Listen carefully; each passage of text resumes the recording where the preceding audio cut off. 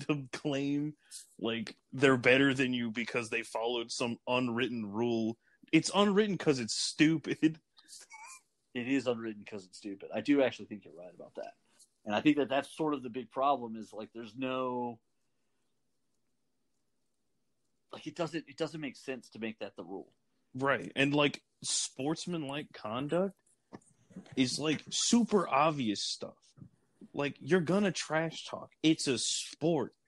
Unsportsmanlike is when you throw hands with someone. Right. That's correct. unsportsmanlike. Throwing a ball at someone is unsportsmanlike, but somehow that's the right thing to do. And nailing a grand slam is the wrong thing to do. I don't want to be anywhere near your sport. Listen, that is, I think that is probably the perfect place to end this episode because you're right. I don't. There's no reason. There's no reason for young people to even want to watch or play baseball when they get mad at a guy for scoring a grand slam on a bad pitch when a pitcher's having a bad day, and the manager can pull him. He's not obligated to leave him out there. He chooses to leave him out there. Yeah, you let So you instead of- hung you hung him out to dry. That's not Right. his fault. Instead of the Rangers being mad at their manager for leaving a guy out there for literally 12 balls in a row, they're mad at the guy who took advantage of him. I hate baseball. and with that, we're going to jump out. Um, on behalf of little brother Nico and myself, and the adventure begins, comics, games, and more. Uh, same Nerd Thug time, same Nerd Thug channel. Make sure to check out my Kickstarter, Kickstarter.com, Department of Metahuman Affairs. Uh, it's already funded halfway through, and we still got like 20 plus days. I'm feeling pretty good that we're going to make it, but feel free to jump on and get yourself some digital copies of some stuff. Um, as always, stay safe, stay clean, stay friendly, stay humble, be good people, take care of each other, wash your hands, fight the power. Black Lives Matter. All right, thank you everybody. Have a great day. Uh, tune in tomorrow. We're gonna have some Nerd Thug Radio coming your way.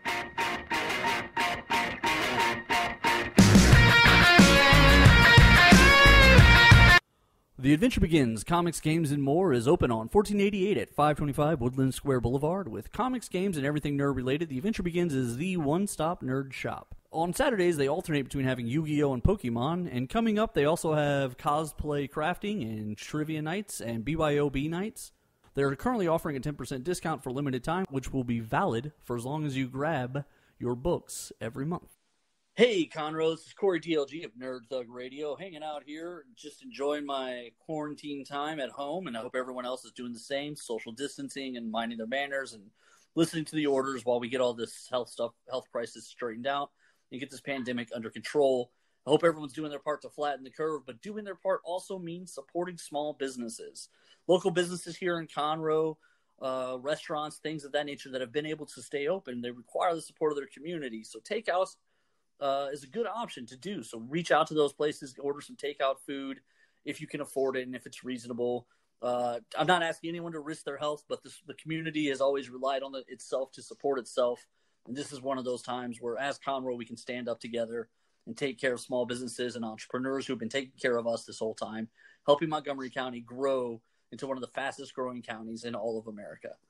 Uh, thank you very much and stay safe and stay tuned for more Nerd Thug Radio. Hi, this is Kevin Smith, former Dallas Cowboy, Texas A&M Aggie as well, and I want to say what's up to Nerd Thug Radio. I'm enrolling in Medicare soon, and it had me a little confused. Then I found myhealthpolicy.com. With myhealthpolicy.com, I could go online and compare Medicare Advantage plans from some top rated national insurers, including $0 monthly premium plans. I can learn about plans in my area and talk with a licensed insurance agent if needed. MyHealthPolicy.com has made doing my research a whole lot easier. My choice, my Medicare, myhealthpolicy.com. New to Medicare? Start now. Go to myhealthpolicy.com to learn about some of the top rated Medicare Advantage plans in your area, including plans for $0 a month in plan premiums, low out of pocket costs, and expansive provider networks. If you're thinking about a Medicare Advantage plan, myhealthpolicy.com is a great place to go to find a plan that meets your needs. Learn more about your options, even talk with a licensed insurance agent. myhealthpolicy.com. Your annual homecoming tailgate party was a rousing success. You caught up with your weird cousin Phil. You and your buddy Dave were crowned cornhole champions. Your famous potato salad drew rave reviews. The home team even won. But the best part was what didn't happen. you didn't drive home buzzed. You got a ride home from your cousin Phil, who may be weird, but also definitely sober. Drive sober or get pulled over. Paid with funds through the Kentucky Office of Highway Safety. Hey, RTF Sports Network fanatics. This is Matt Benz with Benzies Bit. If you like power rankings and off the wall fantasy football breakdowns, make sure to tune in at 2 p.m. Eastern on Fridays. I'll make sure to give you a Midwest take on current events in the vast sports universe. Once again, that's Benzies Bit, 2 p.m. Eastern every Friday on RTF Sports Network. Those Weekend Golf Guys is the golf podcast for people who think golf podcasts are boring. Oh, sure, all the others are boring. We're not. You should check us out right here, 5 o'clock, Monday night. RTF Sports Network, the network of champions. You play golf now, you play better golf. You don't play golf, you're going to want to play golf. You get bored easy? not with us. Those Weekend Golf Guys, 5 p.m., RTF Sports Network. Check us out Monday night, 5 p.m. Monday night at 5. RTF Sports Network. Those Weekend Golf Guys is the golf podcast for people who think golf podcasts are boring. Oh, sure, all the others are boring. We're not. You should check us out right here. You know what that sound is? That's the sound of a new time and a new day for Mike on the Mic on the RTF Sports Network. Every Tuesday at 2 p.m. Eastern. Don't miss it. Mike on the Mic, a spin off show of Twist, the weekend sports talk.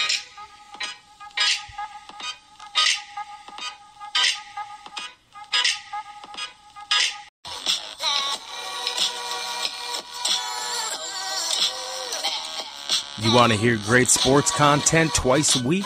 Then don't miss Twist, the weekend sports talk. Every Monday and Thursday. New time, new days at 2 p.m. Eastern, only on the RTF Sports Network.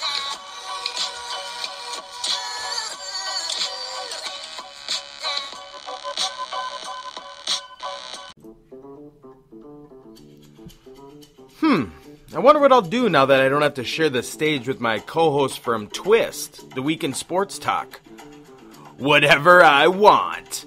Tune in to Mike on the Mic for a fresh take on sports and life on the RTF Sports Network.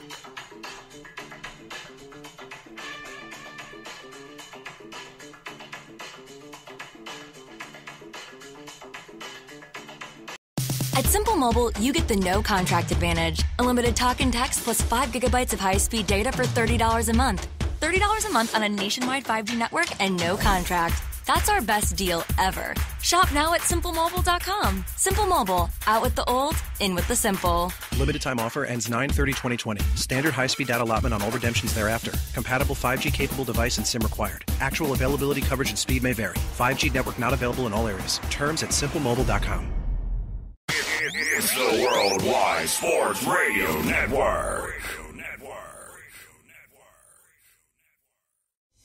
Great moments are born from great opportunity. And that's what you have here. That's what you've earned here tonight. Forget about the crowd. It's the size of the school. Their fancy uniforms. And remember what got you here. If you put your effort and concentration into playing to your potential, to be the best that you can be, I don't care what the scoreboard says at the end of the game, in my book, we're going to be winners. On this team, we tear ourselves and everyone else around us to pieces for that inch. We claw with our fingernails for that inch because we know when we add up all those inches, that, that- that's gonna make the f***ing difference between winning and losing. It's down to the wire with, with, with, with Errol Marks and Speedy Petey. Oh, Petey! Oh, Petey. On the Worldwide Sports Radio Network. And we are back, ladies and gentlemen. This is Down to the Wire. We are live every single Monday and Tuesday from 6 p.m. to 8 p.m. New York Eastern Time. Remember, you can call us at 631 965 4990. You can go to our website at www.worldwidesportsradio.com. Download our app. I could do this over and over and over again. How do you do that? You go to iOS, which is Apple, which you put in WWSRN, or you go to Android. And on Android, you do something differently. You go to the search Play Store and you put in Worldwide Sports Radio Network. Download our app, and you can listen to our shows live every single day. Speedy Petey, what's going on, my friends? Had a fun weekend. I got to see my family for the last time. Whoopee! I did. Why yeah. for the last time? Uh, my bro- well, well, not, not all of them together because my brother's going away to school eventually uh, Mm. in the next couple of weeks or so. He's doing uh, some kind of some kind of work course. Uh, I forget what they call it. I think a co-op. like. Boring. They call it. So he's yeah he's going away. So we got to see them one more time with my cousins. Had a lot of fun. So Well, I had a decent amount of fun. Yesterday, I went out to, uh, I guess you could say, a birthday celebration in Hampton Bays and had a little dinner, a little lunch, or brunch, whatever you want to call it. Uh, good food out there on the water. And uh, throughout the week, uh, you're looking forward to so much that's going on in sports. And, and there was a lot of things that went on over the weekend. Shout out to Eric Coleman and the Weekend Crunch. We had a great show on Saturday. If you missed our show, you can listen to it on our app. You can go to the podcast and listen to the replay of the show, which it is a podcast when it's a replay of a show. So you can definitely check it out. Me and Eric uh, gave uh, a lot of thoughts of what's going on in sports uh, from the NHL, the NBA, the MLB, uh, debating. we we we buy and sell different topics. So definitely check it out if you love sports and you you know who Eric Coleman is, ex NFL player, played nine nine years in the NFL with the Jets, the Atlanta Falcons, and the Lions. Check it out. It's a great great show. Uh, we have a great show lined up for you guys today. At 6.30, we'll be talking to the 2020 NWHL number one overall pick, forward Sammy Davis. Sammy Davis Jr., or what, what do we got? uh, you could ask her that. Oh, Sammy will be joining us at 6.30. Very, very intriguing story uh, behind her story, uh, Team USA, and, and really moving forward to where she is, uh, she's heading with her uh, college career and, and really uh, soon to be a professional hockey player uh, for the women. So definitely we'll, we'll have a lot of insight of what we're going to talk about with hockey. I'm sure she has her own thoughts with the NHL playoffs. So we're looking forward to that in a couple of minutes. But the first story I want to get into is this Earl Thomas story. And Eric talked about it over the weekend, and Earl Thomas has had some domestic violence situations at home with his wife, and then fighting with players on the field is a no-no with the Baltimore. Well, I'm sorry, yeah, the Baltimore Ravens. And here's the thing. Earl Thomas is one of the great young, well, older veteran. I say young because he's still young in uh, men years because he's only 30, 31 years old. But as a football player, he's getting up there in age. This guy is going to be a Hall of Fame player if he keeps up what he's doing. Uh, he's been the best safety in football for the last five or six years. And he's really taken, you know, he won Super Bowl, he won a Super Bowl with Seattle, and he wants, to, he wanted to be a part of this Super Bowl championship competitive Baltimore Ravens team this year. But I don't know if that's going to happen because I do believe the Baltimore Ravens are going to release him. they already did. Oh, they did. Yeah, when? they What today? They already did. Yeah, they were talking about it throughout the weekend, and they finally did today. So they're done. They were trying to find a trade partner, but I guess nobody took him for the price. So it's going to be very, very interesting on where Earl Thomas goes now because I, I, I didn't hear that he was released. So I guess he got released today, earlier did. today. I was working, so I never really got a chance to um, obviously investigate the whole situation. But uh, Eric says that they were going to drop him, and obviously they did. So now where does Earl Thomas go now that the season's just around the corner, two weeks away, and Earl Thomas has no suitors? Now, Seattle, who knows Earl Thomas very, very well, they brought in Jamal Adams. Maybe bringing Earl Thomas back as the other safety that could be very intriguing, very interesting. Um, the the Cowboys who need safety help, uh, a, a team that always has looked at Earl Thomas to be a guy that would be very intriguing to bring in. They were looking at him when he was a free agent from Seattle. He decided to go to Baltimore. That could be a team. That could be a suitor right now with Ha Ha Clinton Dix. You put him over there on the other side. Uh, that could really solidify their uh, secondary and help them out.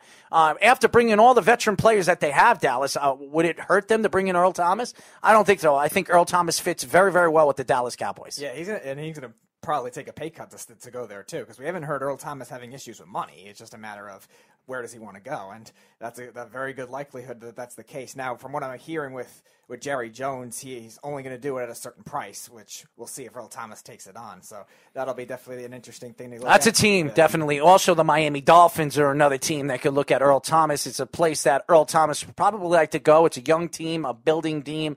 I don't think they're winning anything this year. They could surprise a lot of people, especially in the division that they're in. Uh, but Miami is a team that's rebuilding, and I could see Miami bringing in Earl Thomas. I could see a, a young team. Arizona's another team that could be very intriguing for Earl Thomas. Also, the Tampa Bay Buccaneers. I was going to say the the Cardinals would be interesting. It'd be a whole revenge thing, like Sherman going to the Niners, the whole Legion of Boom re- revenge thing. So that would be interesting. I, I'm very intrigued to see where Earl Thomas goes. I don't know if a team's going to pick him up with everything that we've heard off the field and on the field. I don't know if a team is going to want to take a chance. The domestic violence story is coming out, uh, even though the guy could still play, he's still getting up there in age. And I still think what Earl Thomas did in the secondary last year for Baltimore was absolutely critical on what why their defense was one of the best in the league last year. Uh, but all in all, Earl Thomas is getting up there in age. I don't know if a team is going to be willing to open up their pockets to pay him. Uh, but there are teams out there that are looking for help. Even the New York Jets, a team that brought in Bradley McDougald. Uh, they, they, they love to solidify certain positions and have multiple players for those positions.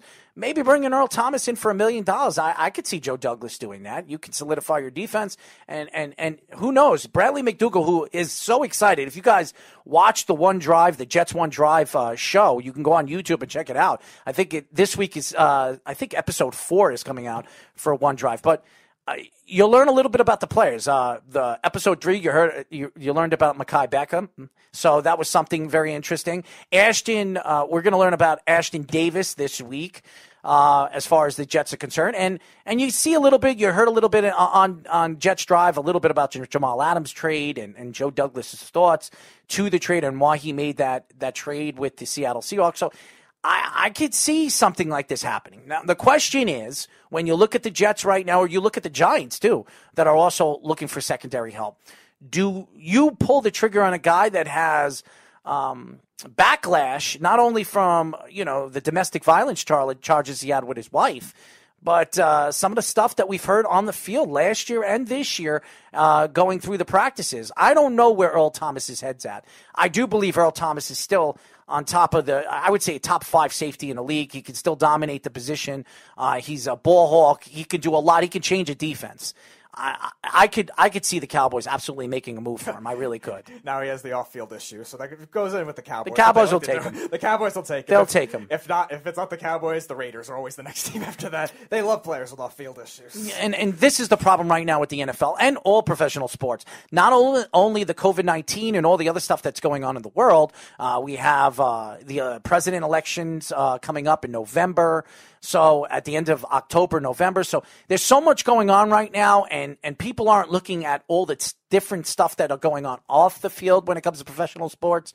And domestic violence has been a big hex for the NFL, the NHL, NBA, and the MLB. Uh, I talked about this. Uh, over the last couple of weeks about some of the things that we've heard with Ray Rice and Greg Hardy. All of these guys are their careers over in the NFL. And then we have guys like Ezekiel Elliott that can't get himself uh, out of the tabloids or putting himself in harm's way. Uh, not with domestic violence because there was accusations that he did have domestic violence and that was completely acquitted. So uh, this is the problem right now in professional sports. I think professional sports and these athletes need to figure out how to keep themselves out of the tabloids and really TMZ and all these other organizations that make a living doing this could affect your career. As you could see with Ray Rice, you saw that with uh, Kareem Hunt with TMZ. Uh, it just it, it keeps on happening and happening, and I don't understand why these players players don't understand that they're in center stage of the spotlight with all these uh, cameras all over the player, the players, and, and and and hotels that you're in. There's cameras all over the place now. You you don't even know where they are. There are millions of cameras all over. So obviously, if there's cameras in those places and you do something stupid, eventually it's going to be caught on camera. So. Uh, we, we heard about the um, Seattle Seahawk, the safety that got uh, uh, kicked off the team because Oh, he yeah. tried to sneak try to sneak a woman in and try to potentially make it seem like it was uh, one of the players on the team. So I, this is what's going on in professional sports, and and as you can see, Seattle's not going to take uh, they're not going to take that crap. And and I'll tell you this: a lot of these teams and a lot of these um, offset professional teams that we've talked about. I, what I mean by offset is uh, teams like uh, professional soccer teams that we don't really talk about uh, that happen in Europe. This is the same thing that's going on. Ronaldo, Cristiano Ronaldo, a couple of I would say six, seven, eight months ago, or maybe a little bit a little bit more than a year ago, was accused for rape. So th- this is never going to end in professional sports, ladies and gentlemen. The problem is, is these athletes need to learn a lesson and understand that every single time there's somebody out there in the tabloids, cameras, newspaper writers, press guys, if you know you're in a major city and you know you're playing for a professional team, do yourself a favor and stay out of trouble. Stay out of the spotlight. Hide. Bart Scott for years did that. And Bart Scott was the, what did they call him? The man, the mad uh, linebacker. Or they call him the man backer. Okay? And everybody knew him as a crazy guy. He came to the Jets. Everybody thought he was a clown. But Bart Scott didn't really say much. He didn't do much until until the press really drove him to say something. And and Bart Scott made a living off of that, talking to the press. And that's why he works on ESPN right now in New York. And he's a he's a big commodity in, in the broadcasting world. So Brandon Marshall's another guy who has done things on and off the field. He's had mental issues, and uh, he's fixed them up. And now he's a he's a broadcaster, and he has a life after football. And I, I, think he's done. I think he's. I don't know if he's retired I don't know yet. if he officially announced a retirement, but, but he's done. He didn't play well with the Seahawks at all, and nobody else has given him a chance since then. So I would imagine so. But this is the problem right now with professional sports. These athletes don't keep themselves out of the tabloids, and if you don't keep yourself out of the tabloids, like Earl Thomas, you're going to lose your job. And Earl Thomas lost his job. He got waived or let go by the Baltimore Ravens, and he's still a, a great player. And uh, uh another team's. Uh, problem is another team's treasure. And I and I do believe that Earl Thomas probably will get signed by somebody before the season start. I could see the Cowboys. I think he fits very, very well with the Cowboys. He always wanted to play for the Cowboys. Right, so. and that's the one team that could afford to take that kind of pay cut for him because that's where he's been wanting to go forever. So if they have enough room in that, they have more than enough room they, to bring him in. Yeah, but remember they have a very small. They'll drop somebody. Space. They will drop I somebody. I know they will to bring in Earl Thomas. I know they. I know uh, they they're not going to worry about that. So right, I don't. I, I, don't know why you're bringing up. Oh, what happens if this happens? There's nothing going to happen. If the Cowboys want him, they're going to bring him in. They, they don't have a player like that, and Ha Ha Clinton-Dix is nowhere close to the player Earl Thomas is. So if they can bring him in, they're going to bring him in, no matter how much it costs, even if it costs them 1.5 million instead of 1 million. If they can get Earl Thomas for 1.5 million, it's an absolute steal. And he can really solidify their cornerback, their corner D back position because he could play multiple positions. He right. could play strong safety, safety, and even corner in certain uh, certain nickel and dime packages. So uh, I think they're I think the Cowboys are a perfect fit for Earl Thomas. And it's, it's going to be interesting too because they have bad corners, so th- maybe they'll overcompensate with that with the safeties. And like you were saying, maybe they have to move those guys around if that's the case. So you wonder if they w- will end up doing it that way. Le'Veon Bell has spoken out. He's been talking to the press a lot, and and I like Le'Veon. He he on one drive he says he hasn't been in the condition he's ever been in until this year. Uh, he, last year he knew it was going to be an off year for him because he was out of football for about a year and a half. So he said he was going to have problems. Uh, the offensive line was a little bit weaker than they are this year. So Le'Veon Bell spoke out today and over the last past couple of days. Le'Veon Bell says that Sam Darnold no bars this season, which he pretty much is saying that Sam Darnold has to stay 100% healthy this year if the Jets have any chance of making the playoffs. And he's absolutely right. The problem with Le'Veon Bell is don't take a shot at your quarterback knowing that their quarterback is never going to throw you under the bus. Sam Darnold has been a quiet guy since he's come to New York. He's never put anything on any of the players. His offense, he knew his offensive line was one of the worst in the league last year. He never took shots at the offensive line on how bad they were in specific standpoints, especially coming back and, and having a six and two record when he came back. I mean, Sam was as good as any quarterback in the second half of the season. You go look at his numbers, six and two in the last eight games. Tell me a quarterback in the last eight games of the season had the numbers that Sam Darnold had and it was probably three or four of them. Right. That's was, it. I would say it's not many that did, and a lot of those were MVP candidates. Yeah, and, and I'm not saying Sam Darnold's an MVP candidate. And I've been reading stories that Sam did not look good the first couple of days. You don't expect a young quarterback with some of the young players that he is now they're they're implementing in, like Perriman. Uh, they have Herndon back now, and they have all these other players that he hasn't played with either for a year and a half because Herndon didn't play at all last year, uh, or Denzel Mims, who's not even 100 100% right now because of his hamstring. And uh, we don't even know if he'll be ready for the start of the season. So you can't blame Sam Darnold that he's not building any, um, any, um, what, what's the word? Um, positioning with his players. What are you sitting there for? You would you would know more than anything. You're sitting there in your own little world. Who are you texting right now? Our guest. Well, uh, well, again, I, what I'm going to say about this is Sam needs to build a good relationship with some of the players on the field. He has not done that year in and year out because he's had different coaches, different offenses, different line linemen. We're hoping that this line, this this offensive line will stay together for the next couple of years. They're fairly young. George Fant, who is, I would say, uh, 27 years old. Uh, Mekhi Becton, uh, who is only 20, 21 years old. And, A lot of room to grow. and they have McGovern, who's 26. This is fairly a young offensive line. They're going to build it. And, and, and this is what Joe Douglas ha- has come out and said before the season, before the offseason. He said that he wanted to build, and he told Sam's family that he wanted to build an offensive line around him so they can protect the kid. And he did that. He added nine new offensive linemen this offseason. He just got rid of Brian Winters. This is a completely different offensive line except Harrison. Harrison is the only one coming back from this offensive line. So this is a completely reconditioned, reconstructed offensive line. Hopefully, this offensive line can protect Sam and keep him out of harm's way. Because if he do, if they do that, and you give Sam four to five seconds, even with the wide receiver wide receiving drought that they have, and uh, what I mean by drought is you can't depend on Crowder and Perriman and some of these guys that really never achieved anything in the NFL with their other teams coming back to you know the Jets and expect them to be stars. But Denzel Mims has a chance to be something special. Herndon has a chance to be something special. They do have weapons, and Le'Veon Bell coming out and saying what he says that he's 100% healthy and he believes he's going to have the best season of his career. I want to see him have 1,500, 1,600 yards behind that offensive line and completely dominate the line of scrimmage, and they feed him the ball over and over and over again. If we see Le'Veon Bell and that offensive line do that, it's going to give Sam a little bit more time, more play action, and give him more times to make play in the open field. So Yeah, I always said for Le'Veon Bell, it was going to be the second year because of that, combined with the offensive line, with new coaching, with the rust from him last year. So the combination of all that means I think Bell is now being hungry again to prove himself that he can be that top five running back again, and I think this is the year that he does it. I think he was always hungry. The problem is, is I don't think he had the legs and he didn't have the offensive line to do it last year. That was the problem. He looks healthy. He looks a lot lighter than he did when he played for Pittsburgh. Um, he says he's very uh, he, he he runs the forty a little bit faster than he has since he's come into the league.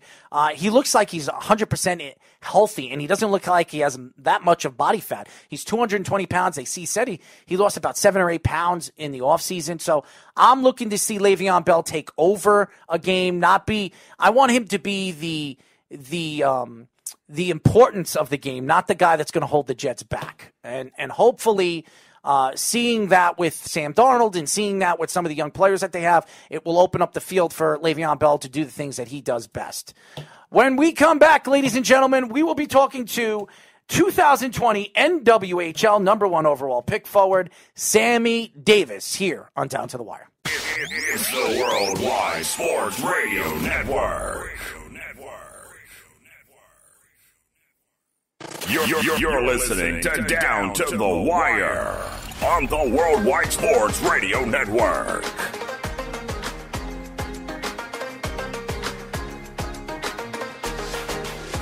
As you guys know, this is Down to the Wire. We are live every single Monday and Tuesday from 6 p.m. to 8 p.m. New York Eastern Time. You can call us at 631 965 4990. And remember, go to our website at www.worldwidesportsradio.com. Well, ladies and gentlemen, we have one guest on the show today. And when Jillian told me we were going to get her on the show, I was very excited. I, I read a little bit about Sammy. Uh, very intriguing story behind uh, the lines of this hockey player. We are now talking to 2020 NWHL number one overall forward, Sammy Davis. What's up, Sammy? Hi, everybody. How are you? I'm great. I'm just sitting at home. My technology is malfunctioning like always. Um, the usual in my household. It's craziness. I have actually one of my teammates from the Boston Pride is staying with me for the next week because her lease doesn't start and her job is started. So um, we're kind of billeting we're billeting her for a week. We have a bunch of people working from home. I'm I'm in school, so it's it's it's craziness like always, right? Uh, life is crazy with everything that's going on with this pandemic, uh, family life, and uh, you have uh, we have the presidency coming up in the next couple of months. I mean, it's crazy. It's absolutely crazy. Yeah, I I'm definitely trying to think it's like a good crazy. I mean, I'm definitely I'm grateful for everything that's happened to me and I'm trying to roll with the punches, but it's it's it's a good crazy. I, I always explain my life. Um, it's just it's chaotic, but it's it's a good chaotic. Well, I don't know about my life being a good chaotic. my life is all over the place, but uh, I'm happy that your life is is is a good chaotic. So, uh, my producer over here, he's chaotic too. I mean, he's only he's in. Sometimes I wonder if I if I put him behind a closed door and he, I put him on the show, um, he would do something to annoy me personally in a specific kind of way. I can't explain it, but uh, Speedy has his own personal. Uh, how could I say this? His own personal personality. Okay, so unfortunately, he is in his own little world half the time. So there you go. Anyways, uh, this isn't about us. This is about you. As you guys know, we are talking to the 2020 NWHL number one overall pick forward, Sammy Davis. So, Sammy, tell us a little bit about yourself. Uh, you know, playing hockey, um, the fact that you're playing for Boston University, and and really um, getting drafted as the number one pick. How does it, you know, how did this come about? Were you a hockey player growing up from the beginning, or did you play soccer? Did you play lacrosse? What made you start playing hockey? Yeah, so I, I actually have a twin brother and I have an older sister and they my older sister and twin brother actually started playing hockey and um, I I didn't. I actually started figure skating and we kind of my family like always played sports growing up growing up. My mom didn't really play sports my dad played sports but uh, we we were thrown into everything. I think i played soccer hockey and lacrosse and softball all at the same time once. So we and i played on three hockey teams and my sister played on two and then my brother played on two and I think we were juggled around. I think I would hang out at the rink from on a Saturday from 5 a.m. to 6 p.m. at Hobomock Rink, which is our town rink, and um, we were, we always grew up playing sports. And I don't think it was just hockey specifically. I think it was just any anything that my parents could get us involved in. That's what we did, and um, I I still emphasize even kids in high school ask me what what should I do? Should I have them just play one sport? And I say, heck no, play play as many as you can, play as long as you can, and whatever you end up loving the most, then go for it. But I'm I'm a big advocate for the crossover and um, just to play as many sports as you can. Talk about the whole draft process. You were you were the number one pick in the U.S. or NWHL, sorry, and the the whole draft process like that in a new league like that. I mean, is it is it a special feeling to be one of those like newer number one picks, those newer upcoming star players? And did you expect to be the number one pick in that whole draft draft process? What do you think that experience was like? I mean, yeah, it was so surreal. I'm so lucky that I got drafted number one, and they traded uh, they traded me traded up their pick um, for the next few years, and this year to pick me overall number one, so I get to go to Boston and um, I mean, I knew it was going to happen. Obviously, uh, like a few days, a week before, a month before, they're kind of like showing interest, and other hockey clubs are showing interest, and other leagues are showing interest, and I kind of had to make that decision. And um, it's always like a really big decision to make, and I think that women's hockey is definitely growing. And I mean, just doing stuff like this and getting our name out there and having other girls get interviewed and get asked questions and just talk about the growth of the sport. I think it's so so important to show that um, that this professional league is up and coming, up and coming, and we're worth watching and we're worth um, investing in. So um, it, it, just, I mean, I'm so lucky, and and I, I'm just, I'm very grateful, and I'm really, yeah. For the future of United States hockey, and I watch a lot of, I, I watch the uh, the Olympics, the Winter Olympics, and, and, and United States hockey is, is the best in the world. It's either Canadian hockey for women's or United States hockey, and and I think uh, people like you and a person like you growing in the sport of hockey and, and being the the face, I believe, the future face of United States hockey is is pretty incredible. But tell us a little bit about you know the fact that you you look at Canada, you look at Russia, you look at Sweden and Finland, all these different places around the world where they're known for hockey. In the United States, which is is a growing place, it really started growing, I would say, about 20 years ago. I mean, hockey's been around forever here in the United States with the NHL, but it really didn't get really, really popular around the world. I mean, it was very popular in Minnesota, uh, Detroit, cold places, but uh, there are certain places like New York and, and Florida. It's it's starting to grow over here in all different states. Tell us a little bit about the growth of the sport, especially for women's hockey. Yeah, I mean, I grew up playing on like an all boys hockey team. My twin brother was on the team with me, and um, like I I looked up to NHL players. I looked up to like Patrice Bergeron, and I mean, I still think he's unreal, and um, just some of those like older Bruins players, and uh, and I think now when I see little girls coming to the rink and and little and just just kids coming to the rink and um, watching call women's college hockey and you're seeing it on NESN and you're seeing it on the NHL network. You're seeing those Olympic game reruns and you're seeing the the worlds come up on NHL network and I think it's just it's so great to see it and we always talk about like if you see it you can be it and um and I, I really think that's that's a big thing is these these people these little girls are not seeing us on the TV screen so they don't know who we're looking up to. And the more and more we are getting seen the more and more like oh those are my role models. Those are who I want to be. And I and I see it now. And I see when I go to the rink little girls know who I am and know who my teammates are. And they can they look at a roster and they know what number we wore. And we know what jersey number we wear. And we and where we're going to play hockey. So it's just it's changing a lot because now they have girls that they want to look up to and i never had that. I had boy role models which is is not a bad thing like i said but um it's just a very different perspective being a girl in a sport and um having somebody kind of be your uh role model inspiration and just kind of be able to be like oh i can relate to her. I i i know what this girl's going through and it's just it's definitely a very different it's different now and it's great and i i can't wait to see it get even bigger and and bigger and have have us have more fans and more um, people coming to watch us and support us. So um, it's it's come a long way, and I cannot wait to see where it goes. We are talking to 2020 NWHL number one overall pick, far, a forward, Sammy Davis. Now, Sammy, uh, I look at uh, you know the NHL and I, and I know professional football and professional basketball they're not sports you know because the men are so athletic and they can jump so high and they're so much taller than the women. It's harder for women to play in those professional sports. But in hockey because of the speed of the sport it doesn't matter how tall you are how strong you are. I, I watched in the NHL um, uh, skills competition I, I, think it was like two years ago uh, they put a bunch of women in the skills competition. They complete some of them dominated against the guys. They really did. Do you see um, in the future? Now there was, uh, you know, a couple in the '90s, mid '90s. There was an NHL goaltender. Uh, what was that? My, I forget her name. Ryu the, or the Lightning like. one. Yeah, the Lightning goalie. She came into the NHL and she was in and she was out. Now, do you think that um, in the future there will be girls playing in the NHL against some of these guys?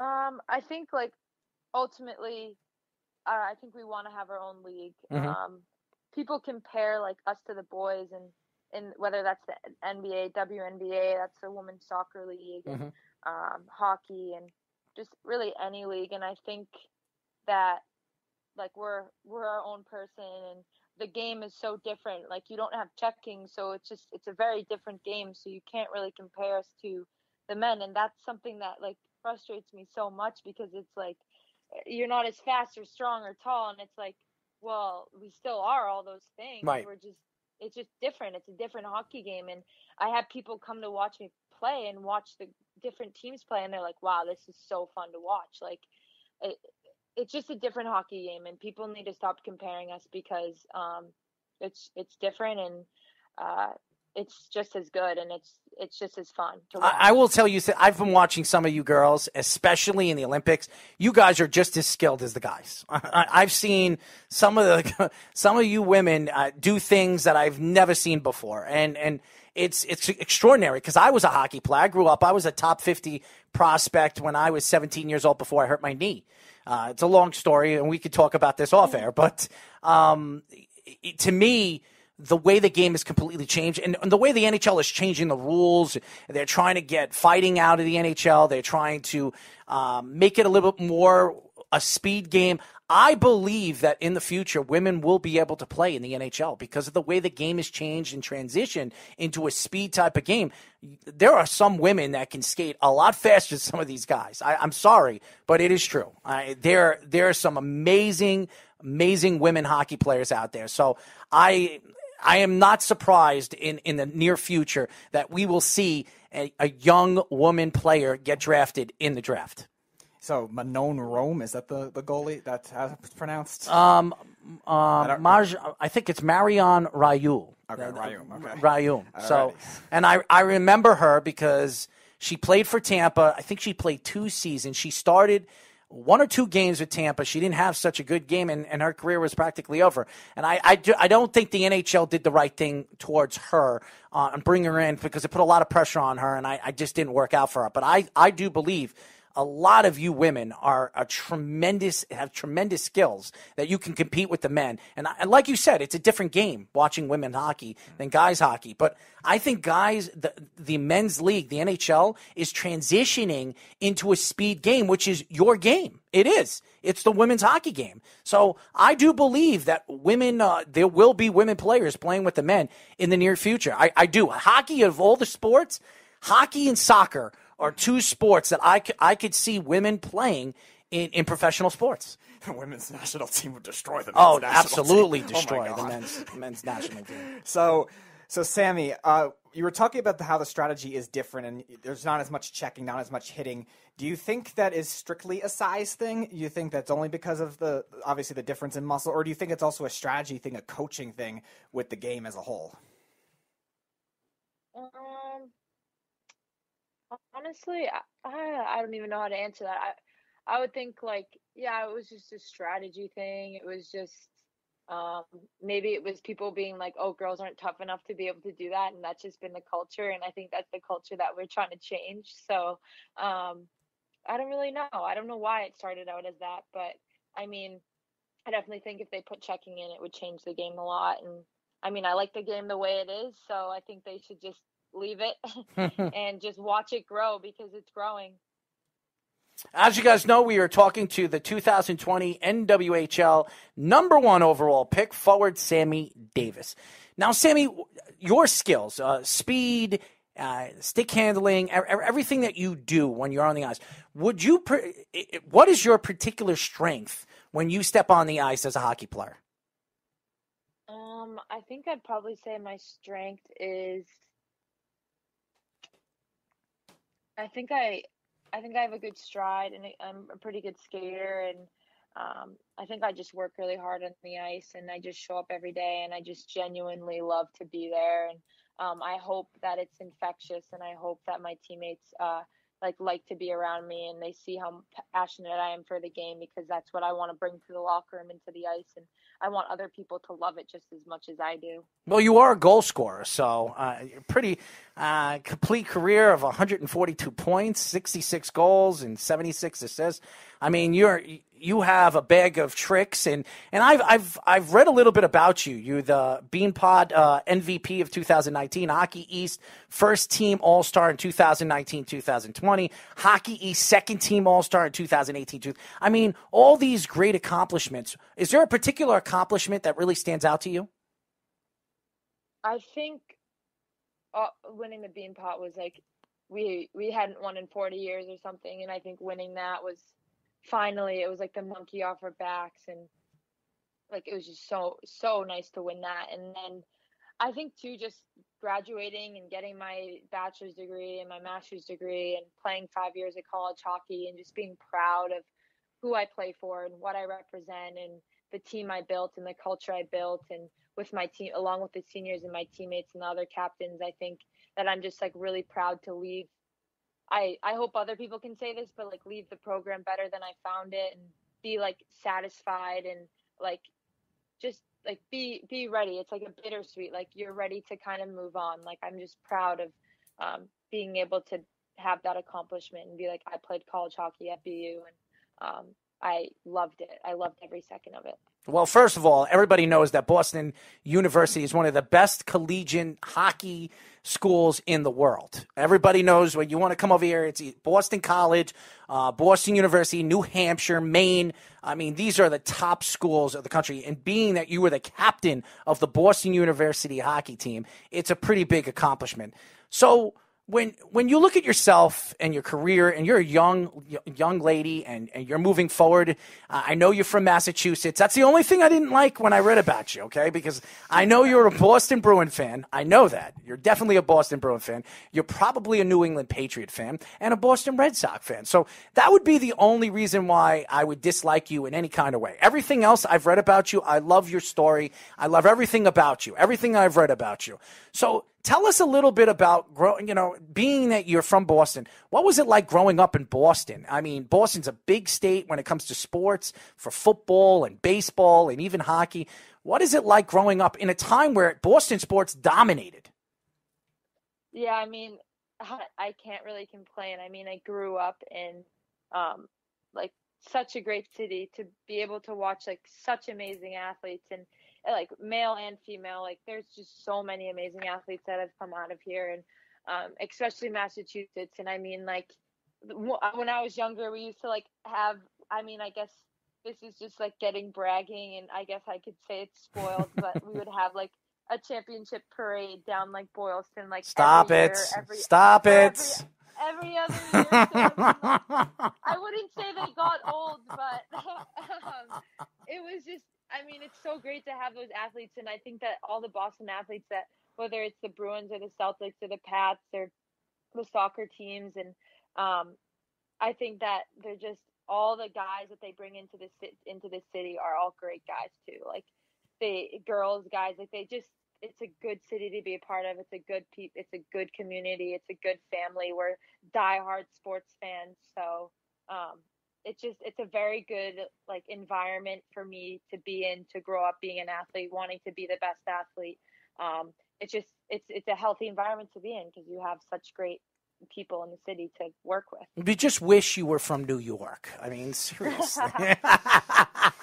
I'm just kidding. I don't I, I i have a lot of boston friends. I mess around with them all the time. They hate that they love picking on me because the the new york sports have been very very bad for the last i don't know the last 10 years. I mean, we've had the Yankees. The last time uh, championship team was the the, the, Giants. the, Giants. in 2011. The Yankees were the last team we, we seen win a championship in 2009. And you look at the Boston Celtics, the uh, the Boston Red Sox that have won three championships in the last, I don't know, eight years. The the New England Patriots that completely dominated football for the last 20 years uh, with Bill Belichick. It, it, just annoys me when I watch Boston win year in and year out one sport. I mean, I was there for the NHL Stanley Cup Finals last year watching the Boston Bruins lose, lose against St. Louis. That was the only pride I had. That was standing on the Boston.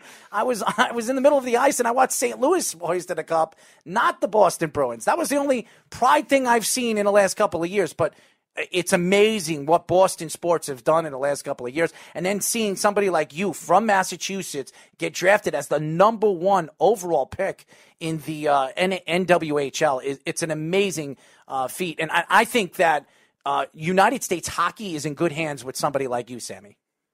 Yeah, thank you. So you mentioned the Beanpot earlier, and uh, that, that's definitely one of the biggest things when it comes to Boston's hockey culture. Very good college hockey culture with all those rivalries. My brother actually goes to Northeastern, and he said, "Uh-oh." Even even with all those pro sports teams we rooted for as kids, he never felt more stress in his life than in, in those Beanpot games, and those Beanpot final games especially. Oh, yeah. So, what was that whole experience like playing in those games? Like you, like Errol said earlier, you won an MVP in in one of those tournaments. 2019. Yeah her junior year, which was her best year. Yeah. So, what was that tournament like, and what was the experience and the culture like with the fans, just with the whole city?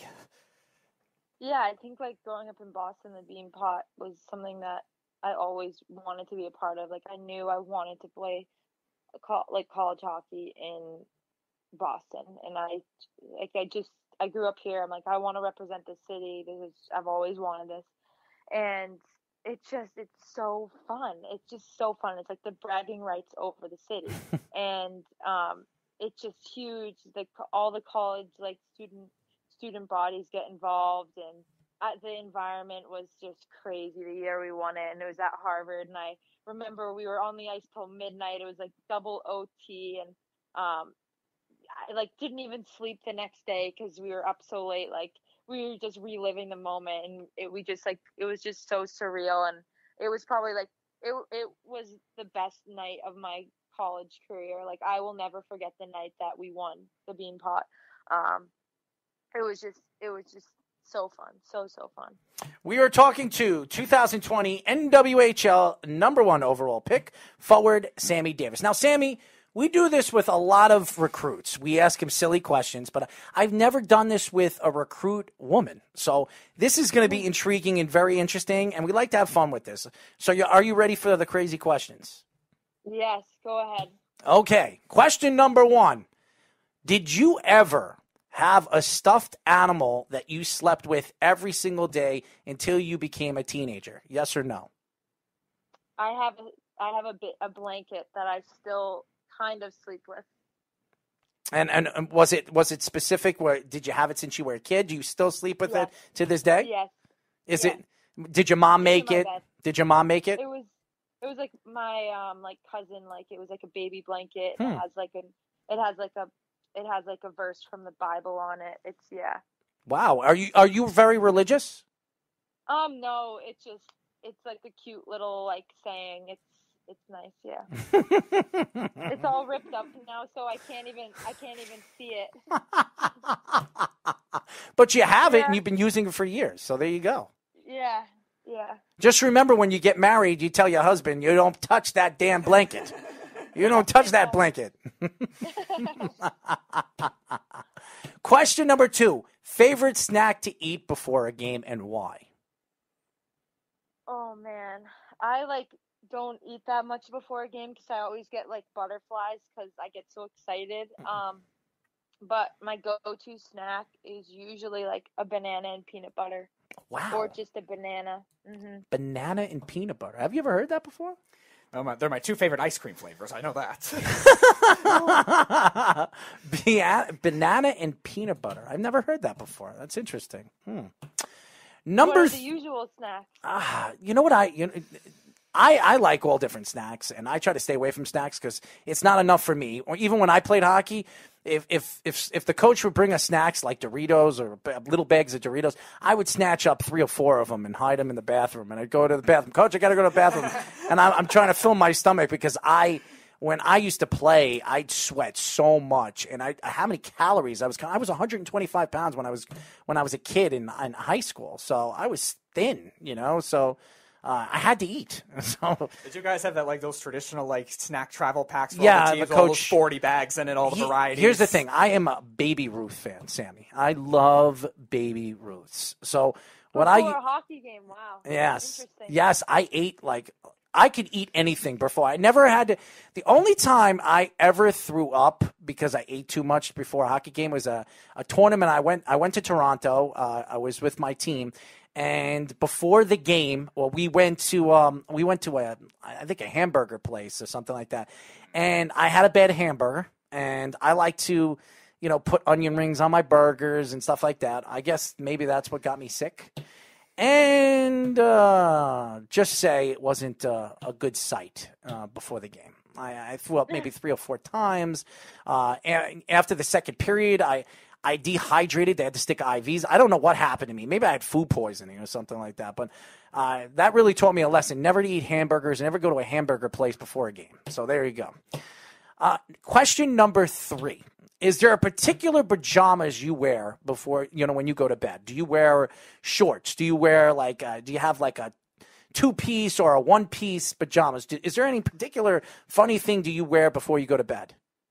Mm, usually I wear like a t-shirt. That's it? You don't wear any crazy Yeah. pajamas? No? No, I mean I have some like matching PJ sets Oh, okay. Okay. that I've been wearing during quarantine. Yeah. Do you have a you have a particular thing when your your team goes to the playoffs? Do you do a particular thing on and off the ice uh, that uh, you do every single day while you're in the playoffs? Mm, I have like a pre-game routine. Like I have to get to the rink at a certain time and take my six six a certain way and ride the bike and then stretch and then go see the trainer and like there's a little routine. Sammy, you are a very intriguing person. Uh, have you ever been to New York? Have I? Yes, I had a double hip surgery my junior year, so I redshirted and I Wow. got my hip surgery in New York City at a hospital special surgery. So I was in New York City quite a bit that year. Best hospital in the country, by the way. Yeah, it's amazing. I I love my doctor and um, Who was your doctor? He was great. Um, Coleman, like uh, I can't pronounce his. It's uh, Struden Coleman. I can't. It's S T R U A N. I can't Mhm. pronounce his first name. All the Giants, in- all the Giants, all Yeah. the Jets, all the Islanders. Yeah, he does. He does a lot of those like baseball guys and um, stuff like that. So I was definitely in like good hands, and I would go back to him again if I ever had another issue. One of the fans asked me, "What is the hardest training drill she has had to date, Like on ice or off ice. on ice and off ice, both?" Um, on ice, I would say the hardest training drill we ever have to do is at the beginning of the year, and it's like a shuttle test. It's basically like a 300 yard shuttle, but on the ice. So we go to the goal line and blue line there and back seven times, and then we rest, and then we have to do it another seven times, and we have to get it. We have to get like an average of like 62 seconds or something between 62 and 64. Mm-hmm. And then I guess like off ice training is basically like any conditioning thing that my trainer has been making me do this summer is just hard. Anything on the Airdyne, if you know what that is, it's like this bike. It's like an assault bike Yep. thing. Mhm. It's like a wind bike, and they make you do like sprinting stuff, and that's just it's always so hard. Well, I, I do want to see you play for Team USA hockey. That I do want to see, and I, I do believe, uh, knowing that you were the number one pick from uh, the NWHL, there there's a quite a good possibility that you're going to make the United States team. But Sammy, we'd love to get you on the show in the near future. I don't know if there's going to be a hockey season for the NWHL, especially with this whole COVID 19. But if there is, we'd love to get you on and talk a little bit about the season and your thoughts from college hockey to professional hockey moving forward. Yeah, definitely. I would love to talk about that. Absolutely. And by the way, uh, don't worry about the camera. Uh, my producer, my producer's in his own little world, but uh, we are very happy to get you on, no matter what. I know you're busy uh, with everything going on. Uh, you you just graduated. Did you just graduate from school? Yeah, I got well. I got my bachelor's last year, and then Mhm. I got my master's this year. Now, Congratulations. doctorate. Yeah, so What do you want to be a doctor in? What do you want to be a doctor in? Um, in occupational therapy. Look at you! Look at you! Yeah, yeah. I'm just keep keep getting the degrees, right? Yeah, well, you keep getting the degrees because you know that you know you're not going to be a hockey player forever. You know, there's I know exactly, which is the the whole point, right? Mm-hmm. And eventually, you're going to want to be a mom, and, and you and you, and you want to experience that opportunity as well. So uh, now that you're 23 years old, and by the way, you're born April 23rd. I'm born April 29th, so we're both Tauruses. So there you go. Yeah. I'm just a little bit older than you. I'm just a little bit older than you. I'm 38. You're 23. So there's a little bit of a difference there. But uh, uh, listen, I really appreciate I really appreciate you joining us. I know you're very very busy. Uh, I hope you and your family are. Uh, Protecting yourselves out there right now with the COVID 19 situation. And like I said, I'd love to get you on in the very near future and talk a little bit about your professional hockey career moving forward. Definitely, definitely. Sammy, thank you. No problem. As you guys know, that we were just talking to the 2020 uh, NWHL number one overall pick forward, Sammy Davis. She is a very, very, very, very nice girl. So uh, we definitely would love to get her back on. She seems. Uh, the only thing I didn't, didn't didn't like about her is that she's from Boston. That's it.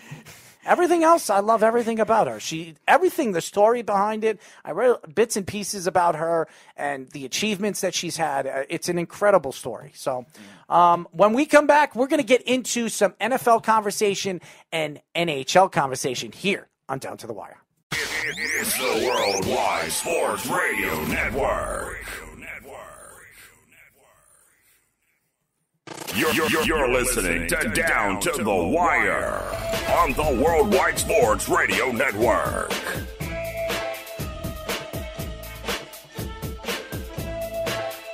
Six three one nine six five four nine nine zero. This is Down to the Wire. We are live every single Monday and Tuesday from 6 p.m. to 8 p.m. New York Eastern Time. Remember, go to our website at www.worldwidesportsradio.com. Download our app, guys. iOS, WWSRN, and on Android, the Worldwide Sports Radio Network. I want to give a shout out to Sammy. Uh, I know she's very, very busy. I was very excited to get her on the show. I know Jillian was very excited when she reached out to her. This was the number one overall pick from the W, I mean the NWHL, and and this is the the first women's professional hockey league, and she was the number one pick. So that's a that's a huge thing to have her on the show, and uh, very very sweet woman, and and I think she's going to achieve anything she puts her mind to. I think it's a, an incredible incredible story. Um, but I want to get into more football conversation. And I, I've been watching Jets One Drive, and we were just talking before we had Sammy on. We were talking about the Jets and, and Le'Veon Bell speaking out on Sam Darnold being healthy the whole season. Absolutely needs to be. But when you look at the league right now as a whole, and I know a lot of people look at you know the future and where the future lies with, with, Tom Brady being that he's 43 years old. Drew Brees is on his way out. Philip Rivers might have one or two years left. Ben Roethlisberger might play another year or two with his shoulder injury. Eli just retired. The new age quarterback and. I'm looking at the quarterbacks now, and I know everybody is like slobbering all over Patrick Mahomes because of what Patrick Mahomes has done the last two years, getting that that record-breaking Yeah. contract, five hundred million dollar contract, and, and and you're looking at Lamar Jackson, what he's achieved the last two years, coming into the league, being that nobody thought he can make it in the league because he's not a throwing quarterback, he's a running quarterback. They thought that about Russell Wilson when he came into the league. He was too small. He's more of a running quarterback than a pocket present quarterback. He's changed his complete style of game since he's been in the NFL. But the the transition of the quarterback position is is very interesting to me because uh, me and Eric were arguing on the weekend crunch this weekend who's the greatest quarterback of of all time. And and and, and it, brought it, it was brought back, and I know he was a Joe Montana fan, and he, and he did bring up Joe Montana, which I believe Joe Montana is the greatest quarterback to ever play the game. But uh, Tom Brady and Peyton Manning, and a lot of people look at the quarterback position, and I, I think people don't understand when I say who is the greatest quarterback of all time. And you, you can look at different eras, and you can look at the different rules that have been implemented in the league, transitioning from a defensive league to an offensive league. When I look at the quarterbacks now, more than I've seen the quarterbacks of the uh, the 2000 era, the Eli Mannings, the Roethlisbergers, the Mannings, and, and and the Brady's, and you know all the people that we talk about. And now you look at the transition of the way the, way the quarterbacks are playing now. Cam Newton was really the first one uh, that transitioned the game, and and I say that because Cam Newton uh, was drafted. What was it? Five years? 2011. Yeah, five five six years ago. Um, actually, almost eight years ago. Actually, so Cam Newton was really the first. I believe the the transition of the quarterback position, 2011. So 2010 to 2020, you look at the transition of the game and the quarterback position. Cam Newton was really the first guy to really translate. And him and Aaron Rodgers. I would say Aaron Rodgers first, then Cam Newton. But I think the difference, though, with with that is Aaron Rodgers is still a pocket guy as well. That's phenomenal in the pocket too. Where I, I think Cam Newton, what you saw the Panthers do when he was there, is the creative concept. You have to become you have to become somewhat of a pocket present Of quarterback course. if you want to achieve your goals. And and, and that's why I think Aaron Rodgers can play both positions. That's why I think Aaron Rodgers is the greatest all around quarterback I've ever seen. Mm. All, all around I've ever seen. Problem with Aaron Rodgers, he can't stay on the field, and he when he came into league, uh, he missed three seasons because he was playing behind one of the greatest quarterbacks of all time in Brett Favre. So uh, you really, you know, you really can't comp- compare and contrast Peyton Manning, Drew Brees, and and Tom Brady to Aaron Rodgers because Aaron Rodgers didn't play long enough to really compete with them. But if you look at the numbers and transition the numbers, they're very comparable to one another. Yeah, in certain stretches of like a seven, eight year stretch where Aaron Rodgers had the best numbers, probably from 2009, I would say, to 17 before he got hurt. And that that stretch alone, he was definitely the best, both statistical and talent wise, quarterback in the league. Now you're right; he's going to be far behind in terms of not far behind, but still behind in terms of accomplishments just right now, just because of those extra three years. But if somehow he does have somewhat of a longevity, maybe that can change. Well, that's why I'm looking at the league and how it's transitioning. Now you have the Josh Allens, the Sam Darnolds, the Lamar Jacksons, uh, the Kyler Murrays, all these quarterbacks that are uh, pocket quarterbacks, but they're also quarterbacks that are mobile. And now, when now the 2020s are here, and we're we're looking at the mobile pocket present quarterback, is it going to transition back? to that pocket present quarterback eventually. And when you look at the league and, and the transition of the league, I think that as good as these mobile quarterbacks are and how they can open up the field and, and, and, and escape problems and pressure from the defense, it also puts the teams in harm's way because it puts them in the open field where they can get hit. And there's no good backups. And if you have a franchise quarterback, how many franchise quarterbacks are in the NFL? Maybe eight or nine? The rest of them are good or great quarterbacks. They're not franchise quarterbacks. They're not guys that you can build your team around. So when you look at the NFL and the transition, you have to you have to get worried about some of these quarterbacks, these mobile quarterbacks that are taking chances and moving inside and out of the pocket. But Russell Wilson also changed that too, where you see him really do a good job protecting his body. It was always with running quarterbacks; they were great for a short stretch of time, and then they got He's hurt. also very small. Well, sure, but and he slides all the time. He doesn't. You never see him slide head first. I've never seen Russell Hmm. Wilson do anything stupid when it comes to sliding. He does everything right. Right. That's why he's one of the top three quarterbacks in the league. And I would say outside of Deshaun Watson, who's had some injury issues early in his career, all those other young quarterbacks so far haven't had those as much. So you're seeing that really take over where they're knowing to protect their bodies. I know we were talking about Sam Darnold last week, where Sam Darnold's played behind two awful offensive lines, and that's probably the, some of the reasons that contributed to his injuries. So because I wouldn't call Darnold a reckless Well, player. had mono. like that. had nothing to do with his offensive right, line. Right, I know that, but still, Unless he- they tried to kiss him. Right. yeah, but Maybe they still, did. But still, I think that's what you're Ryan seeing. Winters? I think that's what you're seeing, though. They're trying to protect themselves as a result. That's why, at least for now, a lot not a lot of those guys have been injury prone. The problem is we've also seen other positions get more injury prone because they're trying to protect their quarterbacks, especially with offensive linemen now that have to move outside and help them run and help run these RPO offenses that all these new young creative offensive coaches are doing now. It, it definitely, definitely, definitely, definitely worries me when I look at the quarterback position and what these quarterbacks are making too. It- it's it's incredible. It takes away practically half or quarter of their salary. Mm-hmm. Just think, quarterbacks are making between thirty-five and forty million dollars. In five or six years, they'll be making fifty or sixty.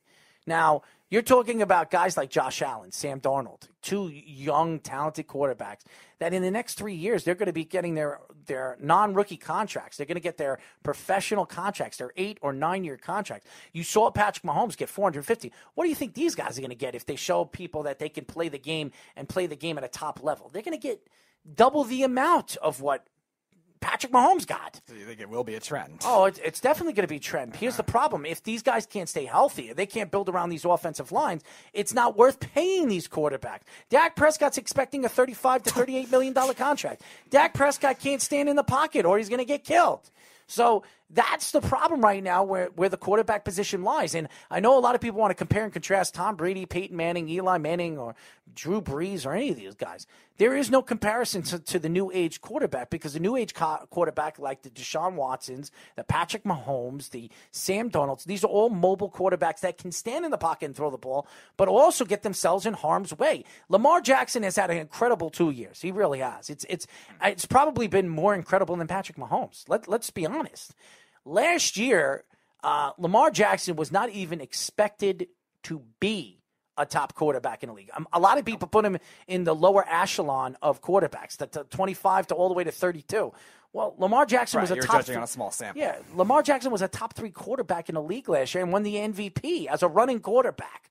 So again, it, it, the game has transitioned, but also when you look at Lamar Jackson, he's what six foot two, and he weighs like 210 pounds, 205 pounds. He's a paperweight to some of these off these defensive linemen. So th- that's a that's a problem when if this guy continues running inside and out of the pocket, he's going to put himself in harm's way. And if you're going to be an, a, an organization that's going to be willing to pay this guy 50 million dollars, because if he wins a Super Bowl this year with the Baltimore Ravens, which they're one of the favorites. um, he's going to demand the contract that Patrick Mahomes got or better. So he's going to get $550 million after three years of playing football. So I, think that the transition of the quarterback position and, and the thought of it is moving back to that pocket present quarterback. Do you think Lamar Jackson will get the 10 years, though, that Mahomes got? No. Yeah, because I was going to say the Ravens are a little different with the I think the operate. Ravens will Yeah. give him a five or six year deal, fifty million a year. all right. I can I could see that. Mm-hmm. I, why not? He's going to claim. He's going to go right. front-loaded, if he wins the Super Bowl this year, and he was the MVP last year, okay, that was his first full season. He won the MVP. Now this is his second full season. He wins the Super Bowl. Same thing as Patrick Mahomes. You're going to tell me he's not going to go up to the Baltimore Ravens and say, "I want fifty million a year," because that's what he's going to do. Mm. He's going to say, "Patrick got it. Why can't I get it?" I am. I'm just as good as he is. Yeah. I was just more judging with the years though, because ten years is unheard of for a lot, for any NFL I don't think he's going to get 10 years, but I don't think Patrick Mahomes is going to live out those 10 years. He's going to want more money. I, I, do believe that because the CBAs are going to go up, the TV deals are going to go up. Obviously, eventually there'll be fans and hot dogs being sold and hamburgers or whatever the hell they sell at the games. they're going to make their money back and they're going to make a huge profit of, uh, with endorsements and, and, and sponsorships. I, I can't see that Lamar Jackson is going to sit back after winning a Super Bowl and winning an MVP back to back years and not demanding to get paid. You saw Jamal Adams. Jamal Adams had one great year. One great year. And I don't want to hear about last year because last year he went into the he went into the Pro Bowl only because he was he was practically yelling at people because he sh- he thought he should have been in the Pro Bowl his rookie season. And he says, "Well, you know, I deserved it. I earned it." Meanwhile, he didn't have enough tackles. The, the- last year, he had a decent season, not a great season. And then this year, he had his breakout season. And as soon as he had his breakout season, he wants his money, he wants his contract, and he wants the hell. He wants to be away from the New York Jets organization. He wants to get the hell out of there. Yeah, and then again, that's a that's a trend of any position now too. Now the the thing is with those contracts is will we be able to judge how they're going to look in the time of Mahomes' whole deal? You heard what I said about Eric. You, you heard what I said to Eric. If you're a running back and you know that the the time deficiency and the the thought that they only play three to, between three and five years. I think the NFL should change the CBA at particular positions. If you're a running back and you're getting your ass beat at the line of scrimmage, that after your two year rookie contract, you you can become a free agent and you can get your big time long deal. Hmm. Because to me, it- a qu- it's not fair that a quarterback can wait four or five years and get that big contract, and they still have another 15 years to play as long as the offensive line protects them. A running back, they have three or five years, and then they don't. If in three or five years, they might not even get off their rookie contract and never get the big bucks. Is two years enough money. to warrant a big deal though? Absolutely. If if you're watching him his first two seasons and he's he's delivering, then you can give him a deal. If not, he becomes a free agent and a team can pick him up and and and and, and let that team decide if he's wor- what he's worth. Because I also think too, you have to factor in the expendability of the position with the quarterbacks versus the running backs. Yes. Patrick Mahomes only had Yes. good two two good two great years, no doubt about that, and it's still two years. But it's a quarterback position. I, Right. I, a quarterback position you can play 15 to 20 years, as you can see with Tom Brady, Ben Roethlisberger, Philip Rivers, Eli Manning. Look at the quarterbacks, Drew Brees, all of them. Russell Wilson's in his like what seventh year. I mean, Russell Wilson's going to play another seven or eight years. Right. All these quarterbacks have a long uh, Shelf life. you know, shelf life in the NFL, but the running backs don't. Maybe just because of Adrian Peterson, he's built like an ox. but besides him, you think Christian McCaffrey? Do you think Christian McCaffrey is going to play more than six or seven years in the NFL? No. Saquon Barkley? No, they're not. Saquon Barkley is built like an ox, but here's the problem with Saquon Barkley: he's so heavy on the lower part of his body. Eventually, he's going to have hamstring problems, quad problems, ankle problems. You know, this, this is a guy that's built really from the bottom, from his waist down. So I, I'm.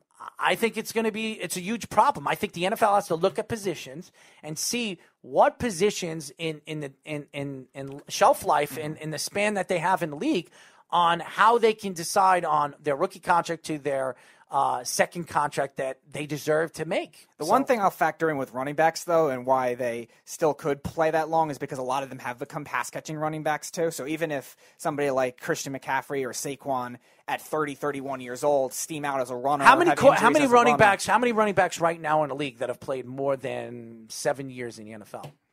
Yeah, uh, it's, like I said, Peterson, Frank Gore, those are the obvious 2 Mhm. Um, Chris Johnson's not there anymore, so it wouldn't be him. Le'Veon Bell. Le'Veon, Yes, Le'Veon Bell, I think, is entering his seventh year. Yeah, yeah, Le'Veon so. Bell, go ahead. So 2012, I don't, yeah, I don't think there's anyone left from that draft because Mhm. Doug Martin was the best one of that draft, and he's out of the league now too. So I mean, if you go through the league, I mean, there's not many of them. So to me, these running backs deserve to get their contracts in an early date of their rookie contract. So I I said this, to Eric, you have to look at the position. Now, offensive linemen last a long time in the NFL. They could play for 15 years. They can. Uh, I don't know why, but they can.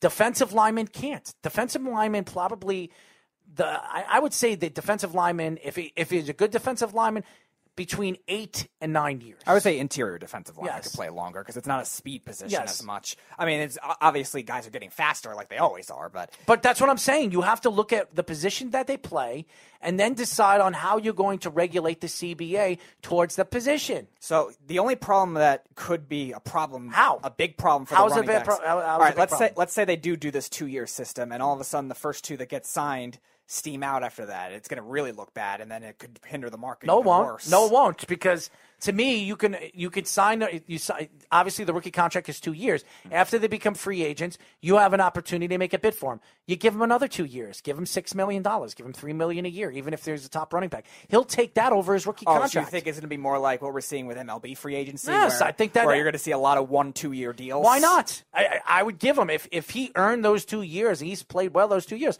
Say, listen, you're you're on your rookie contract. You're making nine hundred thousand dollars a year or whatever. You're making uh two million dollars a year. I'll give you an extra two million. I'll pay you four million dollars every single year for the next two years. I'll give you eight million dollars. You don't think he'd take that? You don't think he would accept that? Absolutely would.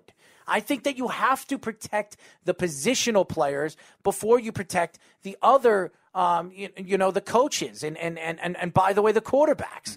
The quarterbacks make too much money. I don't care that it's the most important position. I don't care it's harder to find a quarterback than any other position. To me, without an offensive line, you're not going to have a great quarterback. Well, we've known that for a while, with a lot of the market rising the way it is, and we say, all right, this guy's overpaid for playing good, not great, or having one Pro Bowl year, or something like that. That's that's a lot of young quarterbacks that have just gotten paid. Most of them, in terms of a, a market value, deserve it in the sense of the way it's rising, but don't deserve it in terms of how they actually played. So that's what it is, and you're right. That's the trend of the position right now. It's all about the position. The NFL has to figure out with the new CBA. You know, I, I know Eric said that the CBA was just um, signed, so it- it'll probably take another five years for the new CBA to come out. So in the next five years, I think the NFL has to look at the positions, and and I believe that in the next five to ten years there won't be any special teams. I, I've said this Oh, over and over yeah. again.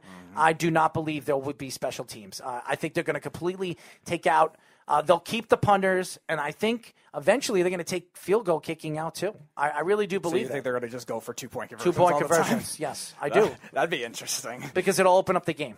It'll Mm-hmm. open up the game and the scoring and open up more options to look at the game in a completely different way. Mm-hmm. And I think that more unlikely because of that it will it will hurt free agency because these players will be able to be signed unless they change the CBA rules with the money consistency. So I, I don't I don't know, but I, I do believe eventually they're going to completely take f- special teams out of the game. I mean, if the injuries keep happening with special teams, that's going to be the reason they do it. It's just a matter that's of why I'm talking about Yeah, the, the only thing that's that could be flawed with that is because a lot of times they are specialists on the team. They get special teams guys. You're going to be have a lot of players losing jobs that way. And if you're a players, gonna happen. If you're a players union, are you really going to want 300? No, players? because I think the NFL is going to bring in a professional G League like the NF, of the NBA has done, the Ah. NHL has done, uh, the NHL is the AHL. They have a, a minor league system. Uh, I do believe that eventually you're going to see that with the NFL, Which is fair to an extent, but how does that solve like special team specialists? Is what I'm saying. Well, how's it? What do you mean? Th- Because there's a lot of guys these guys, roster specifically These guys that. aren't. They're they're going to have to c- concentrate on their positions, on what they played in high school, and try to perfect it. It's it's harder already. It, one out of every ten thousand people make it to the NFL. It'll be even harder to make it to the NFL with with taking away uh, special teams. But I do believe with with the big picture, some of these players need jobs. I do believe the NFL should bring in uh, a minor league system where you can make a significant, you know, not a lot. You're not going to make uh, NFL type of money, but you can make um, NBA G League kind of money, five hundred thousand dollars a year, six hundred thousand, which that's better than working a normal job. And I think it will open up opportunity for other teams to look at the minor league systems and trying to make a trade. So. Um, I, I think that eventually the NFL will do that. It's possible. I just don't know if the current player union would do that, being that there's still And just I think, a lot of players. and remember, I said this. I think before the NFL brings in a professional team overseas, they're going to be they're going to bring a professional minor league team overseas. I agree with you on that. So- because I, do think the international idea is still kind of flawed in a sense. Mhm. And I think they're going to bring they're going to see how the nat the uh, the minor league team does overseas first before they decide to bring in a professional team. And I, I think it's going to do wonders over there if they do it in England. They put it wherever. Mm-hmm. You know what I mean? Wherever they put it, Put I it, in, think Aus- it's put going it in Australia for Isaac. wherever they put it. wherever they put it, I think it's going to work. And I, I, I do believe that. It, and I've said this over and over again. In 10 years, we're going to see, in the next 10 years, we're going to see at least two countries having their own football team. And I, I, I'm not talking about Canada. I'm talking about England.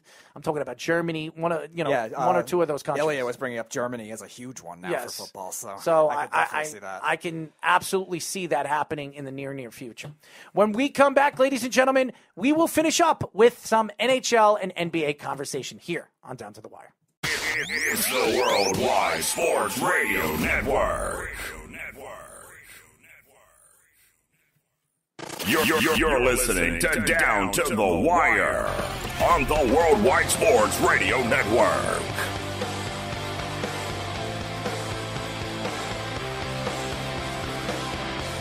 Six three one nine six five four nine nine zero. This is Down to the Wire. We are live every single Monday and Tuesday for 6 p.m. to 8 p.m. New York Eastern Time. Remember, you can go to our website at www.worldwidesportsradio.com. Download our app on iOS and uh, Android. On iOS, WWSRN. On, on Android, Worldwide Sports Radio Network. So there you go. Uh, me and Eric over the weekend kind of attacked the NBA lottery. And the New York Knicks, for some reason, every single year get screwed. They're amongst the league's worst six teams every single year. And for some reason, besides last year, they couldn't even come close to the top three picks. They couldn't. They got the number three pick last year. They got RJ Barrett, a piece that they can build their team around. We don't know if he's that superstar that they can build their team around, but he is a piece that you can build your team around.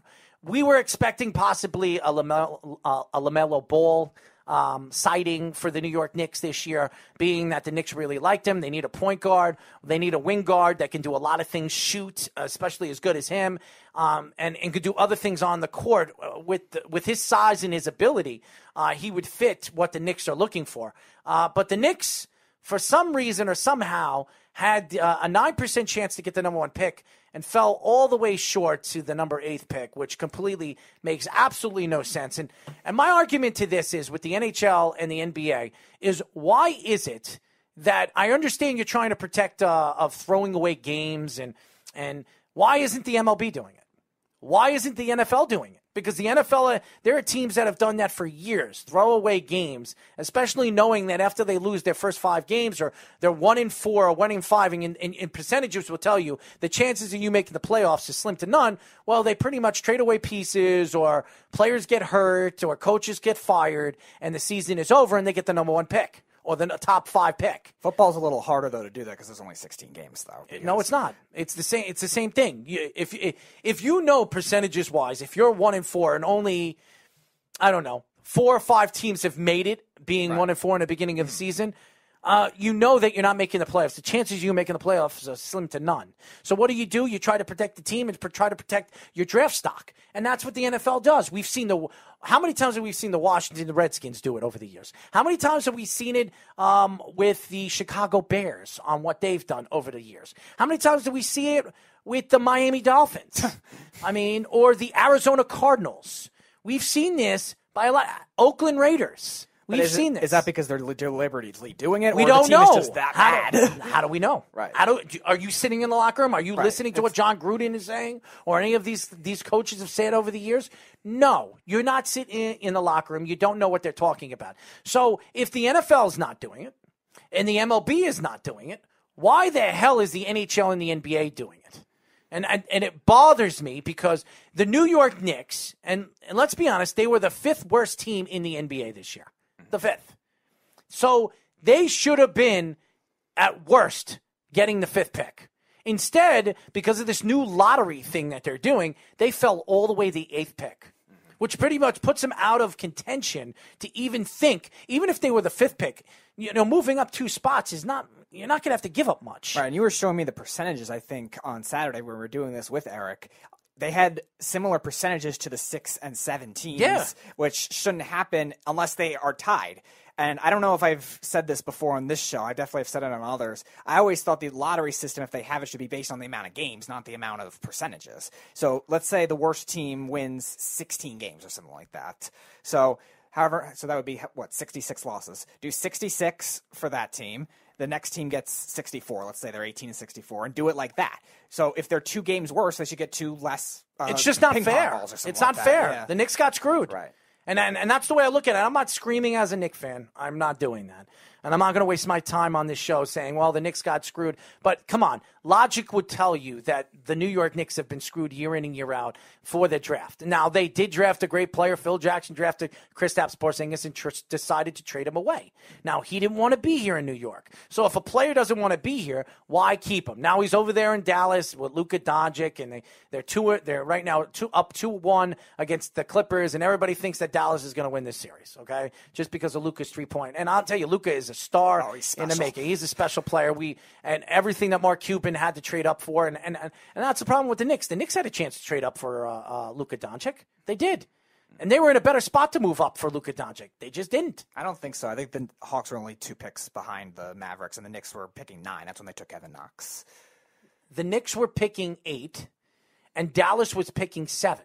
No, Dallas was picking five, and uh, I think the Hawks were. When when was Luka Doncic? He was drafted at five, wasn't he? Yeah, so yeah, Dallas traded up to five, I think, from seven, and I think the Knicks were picking at nine. No, the Knicks were picking at eight. Kevin Knox was the eighth pick. All right. So I guess yeah, m- maybe the other thing you got to factor into that too is Dallas maybe has more to expend because they were a better team at that time though too. I don't think so. The Knicks could have moved up and got him. If the Knicks wanted Luka Doncic, they could have moved up and got him, and they would have had that other superstar with R.J. Barrett, and then you would have had. Oh, you'd be in a different posi- position right now as a franchise. Now you see Kristaps. Actually, you would have Kristaps Porzingis, Luka. Doncic, Yeah, and. R.J. Barrett on one team. I mean, seriously, that's what you would have had. Kristaps you would have never left. Yeah. he would have never left if Doncic was there. So that that's the problem with the New York Knicks and their organization.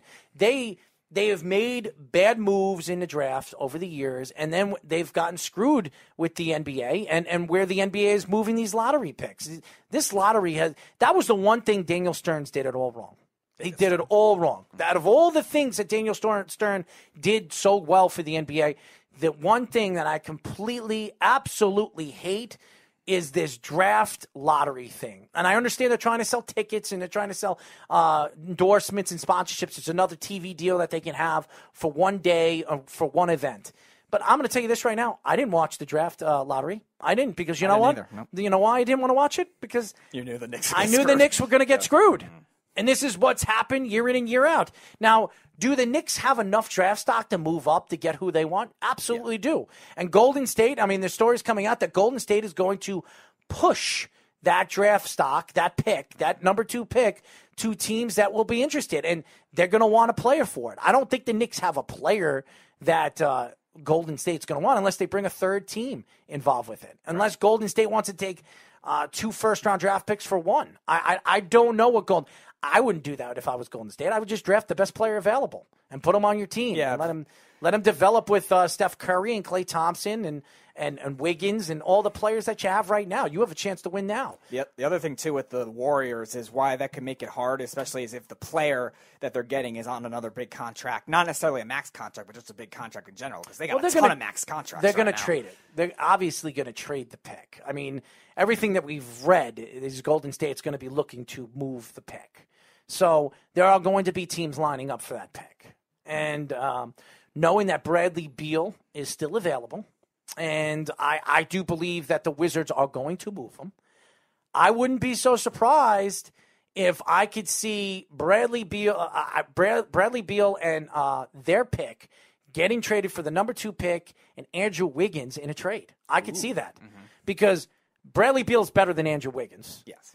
And uh, the pick, obviously, the number two pick would be the the reason, you know, they got to get rid of Andrew Wiggins' contract. Yeah. So bringing in Bradley Beal's contract, that will fulfill the position. It also fill in a role that they haven't had, uh, a guy even though Steph Curry is a great shooter and Klay Thompson's a great shooter, now you got three great perimeter shooters. They're mm-hmm. practically unstoppable. You can't stop these guys. You put one on one side, one on the other, one in the middle. I mean, you're going to spread out offenses, and you're not going to be able to double team both of them. Yeah, and also that enables all three of them. I'm all- sorry. It enables them to move the lineups around too. Yes, Steph Curry's small. Steph Curry's specialty is shooting. He's a good passer, but his specialty is shooting. If Beal is a primary ball handler, and he can play defense, Beal. Yeah, if he's a primary ball handler, they could put Steph at shooting guard and just even just in the game plan, just have him specialize shooting more rather than having to be the point guard too. Because I don't know if Klay Thompson, he's a decent ball handler and point guard passer, but he's not really great at it. I think If they Beal- land- I think Beal is more of if they land player. Bradley Beal, if they put Bradley Beal on that team and they trade Wiggins, uh, they're going to be unstoppable. They'll win another three titles. That's how good they'll be. And I, I think Golden State, uh, it, this really affects me and this really bothers me because Golden State did not need a top three pick. They didn't. They didn't. And if the Knicks were right, right there with Golden State, they wouldn't have gotten the number two pick. They wouldn't have. And that's the problem right now with the lottery. And I'm not saying that the, I believe the NBA has screwed the New York Knicks. I believe it. I, I think the NBA loves the fact that the New York Knicks will never win a championship the way they're moving. They really not.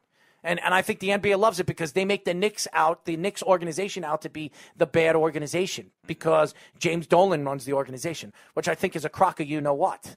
And I, I, as bad as James Dolan has been as an owner, he's not the only bad one. He's not the only bad one, and he's also a guy that opens up his pockets. He pays the players, so you can't say he's been cheap like the Wilpons or the coupons or whatever you call him. This is a guy that opens up his pockets. He spends the money. He paid Carmelo Anthony. He paid all the players that he brought in there. He even paid the coaches. He's still paying the coaches oh. that are gone right now. He's still paying David Fizdale and Derek Fisher and Phil Jackson. I mean, he's still paying those guys, and they're no longer a part of the organization. So it does bother me that the NBA is not. I'm not saying helping the Knicks, and a lot of people say stop crying about the Knicks, stop crying, being the Knicks crybaby. I'm not crying for the Knicks. I just think that the Knicks have been, they've had the bre- they've had the wrong shoe. I, I think they've gotten the, the the bad shoe. Yeah, you wouldn't be complaining about this if if this was a team in a, a middle market position. You wouldn't hear about this kind of thing. This track record of bad luck with these draft. Be picks. honest, Speedy. If if Golden, if the Knicks had the second worst record in the league, do you think they got a top uh, top two pick? They should, but they won't. They won't. The Knicks had the second worst worst record in in basketball last year. That- Where did they get? They got the third pick. They fell from from number two to number three. They never get. Now everybody wanted Ja Morant or or um, Zion. Williamson before R.J. Barrett. Now I like R.J. Barrett. and I think R.J. Barrett's going to be a star. I, I do. I, th- I don't know about a superstar, but I think he's going to get, get. He'll give the Knicks 25 and 10, 25 and nine. I think he's that type of player. I think he could do that. He, he can get to the line at will. He just needs to work on his his free throws. But all in all, the people, you know, what people wanted was Zion Williamson and Ja Morant, and the Knicks didn't get any of them because they fell out of the top picks. Now, Golden State, who don't need any picks, they don't need any players because Klay Thompson's coming back, and so is uh, you know Wiggins. Now you have all these guys on one team. Uh, they're going to be extremely dangerous next year, and and now you have the number two pick, and win or lose, they can trade away the pick or keep the pick, and still be in a in a perfect position to win. So it's not right. I think the NBA needs to figure this out. I think they need to change this. And Eric and me agreed to that. I, I think they need to change this. I, again, I think what they should do take the amount of losses that the worst team had, start from there. They get that amount, and then the next worst team gets one less, two less, however many more games they lost. Just do it like that. It'll be more fair. It'll be more closer for those teams that seem to get robbed all the time, especially in that three through six range. It seems like a lot of teams get robbed in in those times, especially the Knicks, like you were saying. And in hockey, do it based on points. If you're if, if the worst team, I think the Red Wings are the How worst many team. how many top points. three picks have a Knicks had in the last twenty years? I think only, I think only the R.J. one- Barrett. I think one and wasn't there one in the beginning of the 2000s? Kristaps Porzingis was the fourth pick. Okay, yeah. No, I know that because that that year the Knicks had the number one odds and they didn't get it. Mhm. And They got the fourth pick, and they got the best player I think in the draft. You think he's better than Towns? Oh, I do. Really? I think Okay. Kristaps is, is, is a great player. I, I, I think better he's, than Devin Booker? You think? I think so. Yeah. Okay. I, I think he's going to win. I think he'll eventually win with Luka Doncic, and I, I you, you're watching it right now. Uh, Chris Tapso is averaging 22, 23 points a game in the playoffs. His first playoff. Uh, and I, I don't know what Eric was saying because I think KP this is his first playoff run, and he's playing pretty good. Da- he's playing pretty good basketball. So he's being unfair to a guy who's never been in the playoffs. Yeah. Negative experience is not necessarily bad experience. It bothers me because I, I he's going to turn into a star with uh, Luka Doncic, and they're going to win eventually. They are. I don't know how long it's going to take. Hopefully, by then the Knicks will be a decent team. That maybe we see Dallas versus the Knicks in this, uh, the uh, um, the NBA NBA, Finals, championship, yeah. and, and get to see these two teams play against one another, and and, and the Knicks shut off Kristaps Porzingis. But I don't think that's going to happen. And so um, the Knicks, I think the the last time the Knicks is at. This is the first time the Knicks have had a top three pick in, in about 20 years. And, and and they've been a bad team for probably the worst NBA team for the last 30 years. Right, and how do you how are you the worst team in the NBA for 30 years and have only had one top 3 pick in 20? Yeah, it's very bizarre just looking at the pattern of it. How that how little they've gotten that. Even top five picks they haven't gotten much of either. If you if you want to judge that standard for a team that's that Bad. that bad, that poorly run for the longest time, they you would think they'd be able to. I'm not saying they shouldn't they should get it every time, but at least be able to get it more than The half. Timberwolves do. Yeah. The 76ers do. All these bad teams do. I mean, look at the look at the Red- look at the Grizzlies last year. They were the eighth or ninth worst team in uh, not the Grizzlies, I'm sorry, the Pelicans. They were the eighth or ninth worst team in the NBA last year. They were supposed to pick at 8 or 9. They went all the way to 1. They were, I think they were a playoff team, like or right, right near a playoff spot. They went all the way to February one. like that. Yeah. So come on, and, and you're telling me that the New York Knicks haven't been screwed? I mean, they've been screwed, and, and the NBA needs to figure this out because the Knicks will never be good because nobody's going to come over here and play if they don't have players surrounding, uh, uh, uh, you know, the the main players where it's going to say, you know what, if I go over there, I'm the missing piece that can help them win Right. a championship. Just in So- general, too, the policy of the lottery, the, the reason it's meant to be there is to have more randomness than it does, and it doesn't seem to have enough of it. I, I'm not saying a team should never get a two top five picks ever just based on probability, but this much, this often for the Knicks not getting it for how bad they've been? No, they've been terrible. Right. Uh, come on, tell me. I, I want all the fans, whoever's listening to the show right now, you tell me right now who's been a worse organization in the NBA than the Knicks in the last 25 years. And I'll tell you this right now. Go look at the records. The Knicks have been the worst organization in the last 25 years. They have the least amount of wins. Their winning percentage is the worst in the NBA. They have the most coaches. Uh, the most Yeah. coaches, and, and the fact that the Knicks have only had one top three pick in the last 20 years is sad. It is sad. And the NBA should be ashamed of themselves because the Knicks organization, the mecca of basketball, Madison Square Garden, the mo- world's most famous arena, should have a good basketball team. And instead, they're getting screwed out of it. So it, it doesn't make any sense to me. And again, we, sure. would, we wouldn't be re- reacting like this if it was uh, if it was any other team. They just brush it under. But a team should not have this much bad luck with this. That's not what the lottery is meant for. It's meant for probability and randomness with, within that. And if they gives you opportunity. Yeah, it gives you the opportunity to change your organization. yeah, if they one pick. if they can't change that system and make it closer, make it a little more more random than it does, like the system I was saying that they should do, it's going to be very hard for them. To, uh, be very hard for these teams to rebuild, like the Knicks, because they can't get those. The teams are just sometimes just bad. They're not always tanking. Oh, by the way, uh, the Islanders game just started and they're already fighting. So there you go. This is going to be a rough, rough, rough round for the Islanders and the Philadelphia Flyers. Whoever wins this round is going to be the tougher team. And I, I and I, I, I do believe the Islanders are the tougher team. I think they're the better team out of both teams. But I think the most talent, um, the most talent, offensive talent, is Philadelphia. They have the most offensive talent. But uh, Washington had the most offensive talent in the last series, and the Islanders won four, uh, four games to one. So Yeah, and Philly's very similar to the, the the Capitals too, where they have a lot of bigger forwards. They have a lot of forwards that like to hit. So it's a very similarly structured team. The the reason I like the Islanders though is because of who the Flyers coach is. The, we talked about it off air all the time. The, the Islanders Alain owned the Vigneault. Rangers when Vigneault was there. So the Islanders know how to take care of that system. and I, I think the Islanders have a very good chance of in, advancing into the uh, Eastern Conference Finals. I, I think it could happen. Mm-hmm. I really do. Uh, the Islanders are one of the last four teams in the Eastern Conference, which who would have thought that uh, in the second half of the season, the way they played after losing Pelech. So, Right. uh, this is a, and I, I want to get into hockey now. It's it's pretty incredible what the Islanders and Barry Trotz is doing. Uh, you could say whatever you want about the organization and how poorly it's run over the last couple of years. Uh, ever since Barry Trotz has come into uh, the co- being the coach of the New York Islanders from the Washington Capitals and Lou Lamoriello taking over for the team, this has been a different organization. They played so well in that series. They the Capitals just fired their coach today. Well, I'm not surprised. you can I- see why. And, and b- believe it or not, that was the same coach that took them all the way to the Eastern. Where, where, where did they go? The He was the Conference? assistant coach in, in the Cup run. Yeah, But the, last year they were in the Eastern Conference Final, right? no, they Oh, lost in the first round to Carolina. That's right. year. That's Mhm. right. They, They, they got upset in that seven game series. but they had the best record. They had the best record in the Eastern Conference that year. I think they were second. I think they were the two seed because Tampa had all that was 120 point season. I wouldn't be so Tampa surprised if Barry year. Trotz Yeah. brings Nurse back to the Islanders. I could see that happening Yeah. in the offseason. I really could. But Yeah, because I can't see him getting another head coaching job. No, but uh, I, I will say this: when when you look at the big picture right now, and you look at the Islanders, and you look at the NHL players. By the way, the NHL players have been absolutely stupendous, and I, that's a word I just made. Okay, it's been absolutely fantastic, and the speed of the game. It, it doesn't matter if they're fans there or not. You could see the players want it; they want to win, and it, it's it's uh, to me winning or losing, the fact that you can win a Stanley Cup, even if if the Islanders some, somehow pull off, get out of this round and get to the Eastern Conference Finals and get into the Stanley Cup and they win the Stanley Cup, it's as big as if they won it on their own ice. It really is. And unfortunately, Especially we're not seven gonna, seed. Yeah, unfortunately we're not going to be able to celebrate it.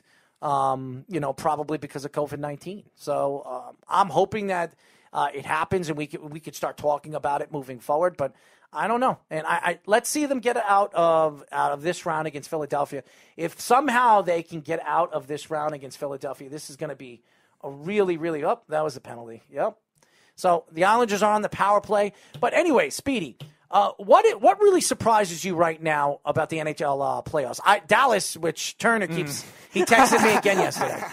He texted me again yesterday, uh, which. Uh, Are you picking Dallas against the Avalanche? No. no. And I- and Dallas won. And I, know- Dallas I, know, won. I know you've been down on Colorado, so I wasn't sure. No, I picked Okay. I picked Colorado because I, I don't want Turner to be right. But, uh, Turner looks like he's um, slowly but surely um, going to be right. Uh, Dallas That's, that's is my cup pick, so I got to Dallas- stand by it. What Dallas? No, Colorado.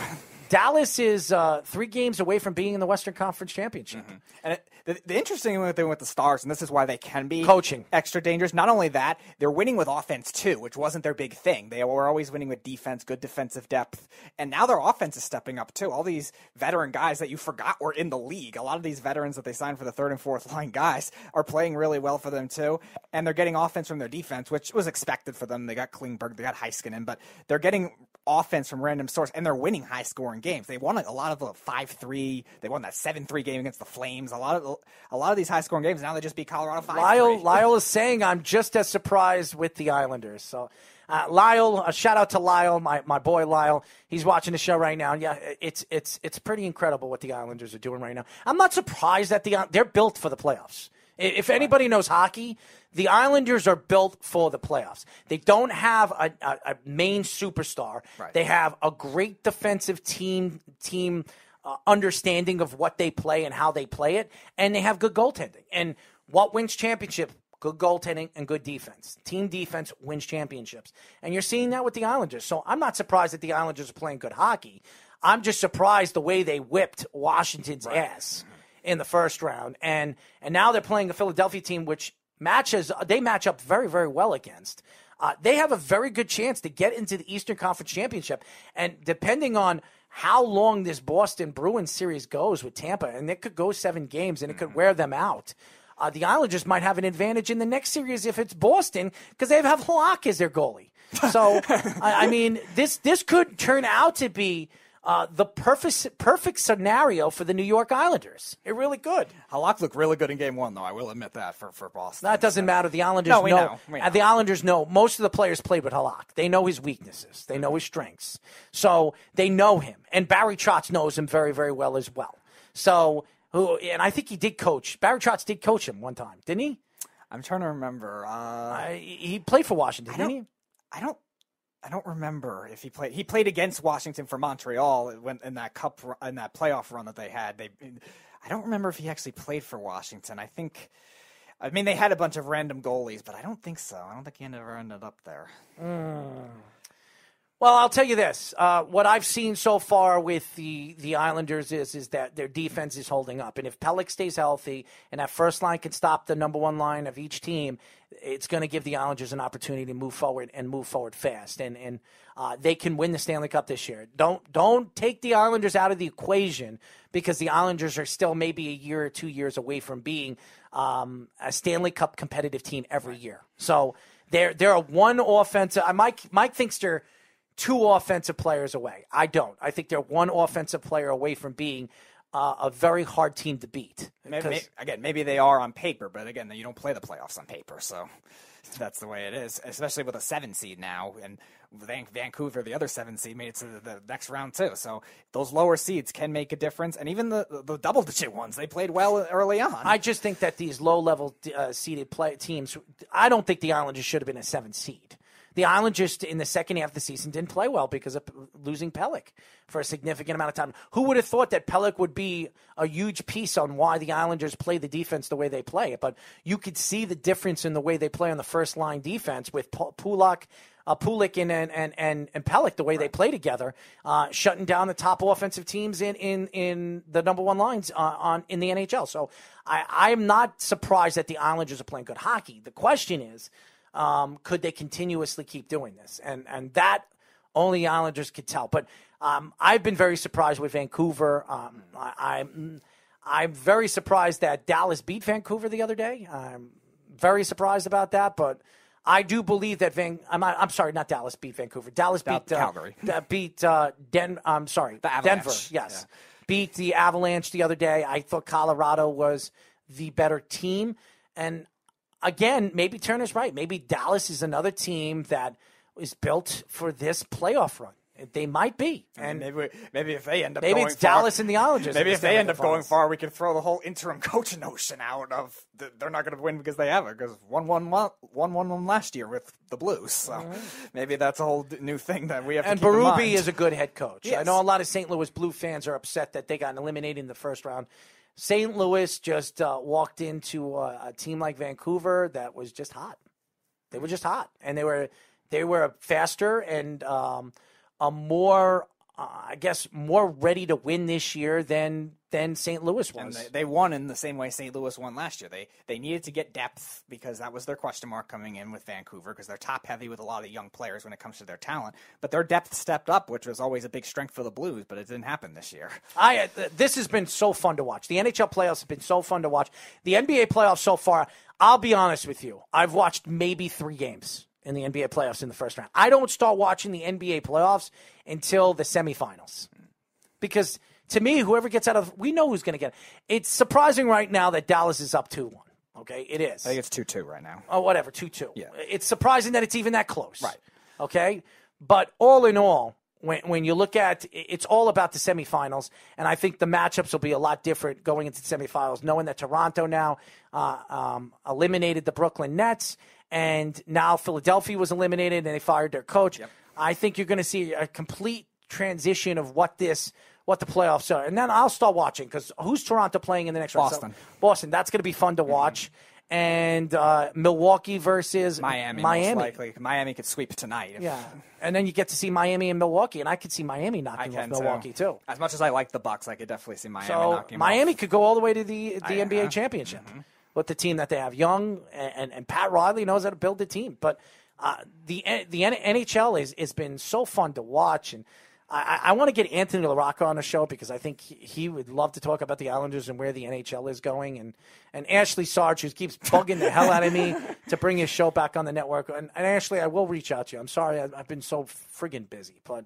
Um, it's it's crazy right now. The NHL playoffs have been nothing but fun to watch, and I I'm excited to see where the Islanders go in this series. And I, I, I do believe that the Islanders are the favorites. A lot of people pick the Islanders to win this series, um, and if they do get into the Eastern Conference Finals, by the way, Beef, if the Islanders win the Stanley Cup this year, what are you going to say then? Oh God, he's gonna have to do that thing that I don't want to think about. It. What are you going to do then, my friend? No, he didn't even make the bet. Oh, he didn't. No, he didn't make the bet because he's a chicken. You know what? Okay. He's a chicken because he knows. Because he knows anybody, any Ranger fan that thinks that the the Rangers have a better chance of winning a championship in the next five years than the Islanders, obviously don't know hockey. I don't care how much talent offensively the Rangers have. Offense doesn't win championships. The only team that did do that that way was the Pittsburgh Penguins. That's it. That's it. And that's because they had Sidney Crosby and Malkin, arguably two of the best players in the league when they won those two championships. So, I, again, I don't see the Rangers doing that. Even adding uh, Lafayette, whatever his name Lafreniere, is, yep. Lafreniere, whatever his name is. I, I, I Lafreniere is going to be a talented player. The same thing as um, the kid that they drafted last year. Kaapo Yeah, Kaapo Kakko. He's going to be a talented player. Both guys are going to be 30, 40 goal scorers. But that doesn't win you championships. It doesn't. Because when it gets into the playoffs, you need to put the pucks in the net. And those superstar players, aka Mr. Panarin, who didn't do it in the first round. And that's why they got swept by the Carolina Hurricanes. Hmm. So Yeah, so the, the NHL playoffs, the leading goal scorers a lot of the time are a lot of random mm-hmm. guys. Look at the Dallas defensive Gurianov, who scored four goals in one game against the Flames. Beauvillier. Yeah, Bol- Beauvillier, yeah, Bol- right. Beauvillier. He's he has six goals already mm-hmm. in, in the playoffs. He has over, I think he has 14 points. You got John James um, Bailey. He has 10 points or 12 points in the in the he's got two goals and eight assists mm-hmm. in in the first round. I mean, it's it's been incredible. And everybody keeps taking taking shots at, at Bailey, uh, how bad he is. But if you look at his playoff runs the last few seasons, I mean, last year they didn't make the playoffs, but the year before that, I mean, Bailey's been a big part of their uh, their actually did make the playoffs. Yeah, they got swept by Bailey played well in the playoffs last year. It was the year before that. Yeah. But uh, they didn't have they didn't play. But I mean, Bailey's been good in the playoffs. So is Brock Nelson. He's been very good in the playoffs the last two seasons too. So uh, they're getting quality scoring, and they added Pageau, which you see why they added Pageau. He's one of the best face-off guys in the NHL, and he could score goals in the big games. He's had he had four goals in the last series. So if you have a guy that can score, or you have guys that can score at least ten to twelve goals in all the way to the Stanley Cup Finals, you have a pretty good offensive team. I mean, uh, they don't have that superstar that can take over a game, but uh, there's guys like Ovechkin who's a free agent this year. Um, there, are, there are guys that are going to be available, and why not Ovechkin coming to Barry Trotz's team and helping Barry Trotz win another championship with the Islanders? That's that a could scary happen. thought. That could happen. Wow, I didn't even think of that. That could happen. He's a free that's agent. very much could happen. Yeah, it, it- it could absolutely happen, and I know Mikey C don't want to hear it, and I know Mikey C doesn't believe it because the Islanders don't have the money right now because they got to pay this defenseman, that defenseman. But if you can get Alexander, uh, if you can get Alexander Ovechkin for a two-year contract worth about ten million a year, you're not going to do that. No, you got to do that. Uh, I mean, no matter how old he is, you got to do that. he's still going to score forty to fifty goals. He's proven that he can do that. So, and that's what the Islanders need. They need a goal scorer that can take over games. Anyways, that's it for our show, ladies and gentlemen. We'll be back tomorrow. Who do we have tomorrow? Uh, tomorrow we have one of the Rangers prospects that uh, that couldn't join us because of the power outage. I think we have him. I'm, I forget who the other one is. I think he's another tight end recruit though. So add him to the bracket of for the TikTok tight end recruits. There you go. And uh, we will be back tomorrow, ladies and gentlemen. Definitely follow us by going to our website at worldwidesportsradio.com. And guys, download our app. I made this. I put so much time, so much money into this app for you guys to download. If you don't have it, go to iOS, WWSRN, or you go to Android, Worldwide Sports Radio Network. Uh, we will be back tomorrow, me and Speedy P. Up next, the Wise Guys, here on the Worldwide Sports Radio Network. It's the Worldwide Sports Radio Network. I'm enrolling in Medicare soon, and it had me a little confused. Then I found myhealthpolicy.com. With myhealthpolicy.com, I could go online and compare Medicare Advantage plans from some top rated national insurers, including $0 monthly premium plans.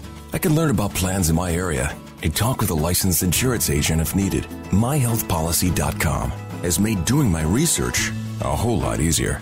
My choice, my Medicare, myhealthpolicy.com. New to Medicare?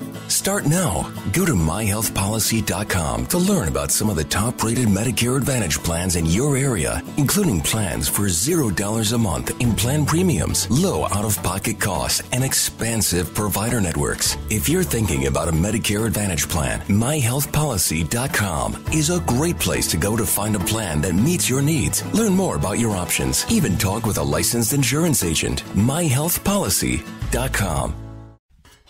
You can only bake so many loaves of homemade sourdough. It's time to treat yourself and dine out again. You've earned it. And if you want to, make it a night out in the city.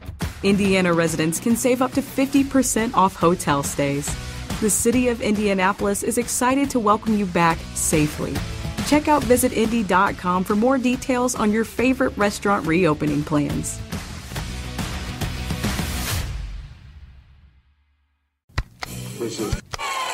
Are you tired of endless arguments over what to stream next? It's time to have a real night out again.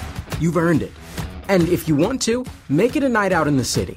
Indiana residents can save up to 50% off hotel stays. The city of Indianapolis is excited to welcome you back safely. Check out visitindy.com for more details on your favorite museum and attraction reopening plans. Hello, sports fans, and welcome back to another podcast. In today's podcast, I will be talking about every NBA's best team put together in league history. Uh, it is made by Fox Sports, so I'll go through all 30 teams and give you guys my thoughts on it. So here we go. All right, so ranking at 30, they have the New Orleans Pelicans, and on their team, they have Baron Davis, Eric Gordon, Ryan Anderson, David West, and Anthony Davis. And my thoughts on this is I fully agree on who's put on the team, and quite frankly, agree with the ranking on this team. Anthony Davis is the only eye catcher, so that's that. Ranking at number 29, you have the Charlotte Hornets, and they have Muggsy Bogues, Dell Curry, Anthony Mason, Larry Johnson, and Al Jefferson. I also agree with this ranking. People could argue that this could rank uh, a little bit higher, which I wouldn't count out, but compared to the next following teams, this is where they belong, I think. Ranking at number 28, they have the Brooklyn Nets, and on their team they have Jason Kidd, Kerry Kittles, Richard Jefferson, Buck Williams, and Brooke Lopez. And my thoughts on this is that if it were a real team and put together, they could make some noise and surprise many. I'm not saying a top team, but definitely Jason Kidd and his prime with Brooke Lopez and Richard Jefferson all in their prime. They would be, definitely be a team to watch, so that's that. At number 27, they have the Denver Nuggets, and they have Andre Miller, David Thompson, Alex English, David Issel, and Dikembe Mutombo. Uh, this team ranking, in my opinion, could be lower, and I still would agree.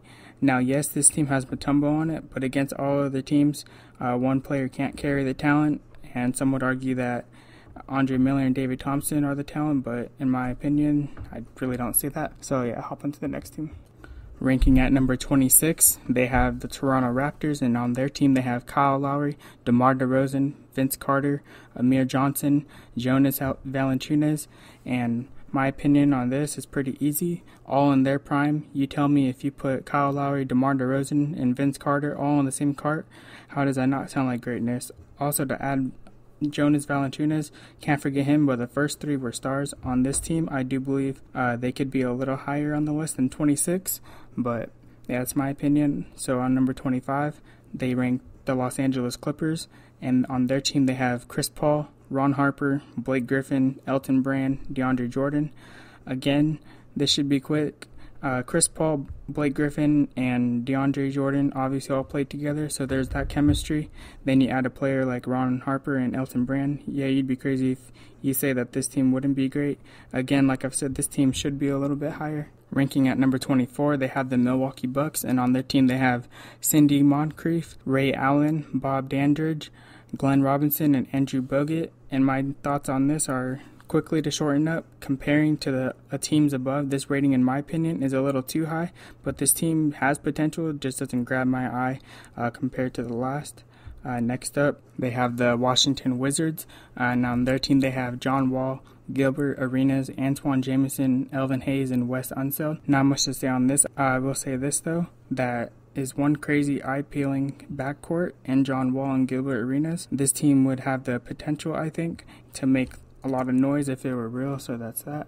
At number 22, you have the Minnesota Timberwolves, and on their team they have Ricky Rubio, Kevin Martin, Kevin Love, Kevin Garnett, and Karl-Anthony Towns.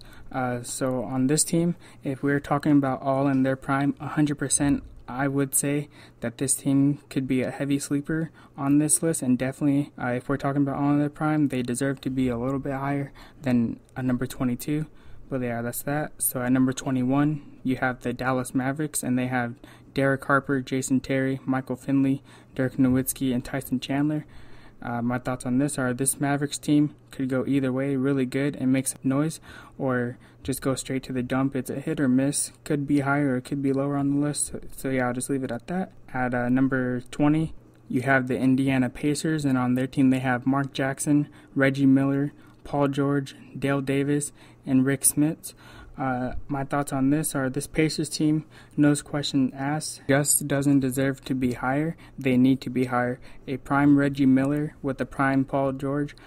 Then they have Mark Jackson as point guard. Yeah, you're crazy if you disagree with that statement, me saying that they deserve a higher rank. So I'll just leave it at that. Uh, at number 19, you have the Orlando Magic, and they have Penny Hardaway, Nick Anderson, Dennis Scott, Rashard Lewis, and Dwight Howard.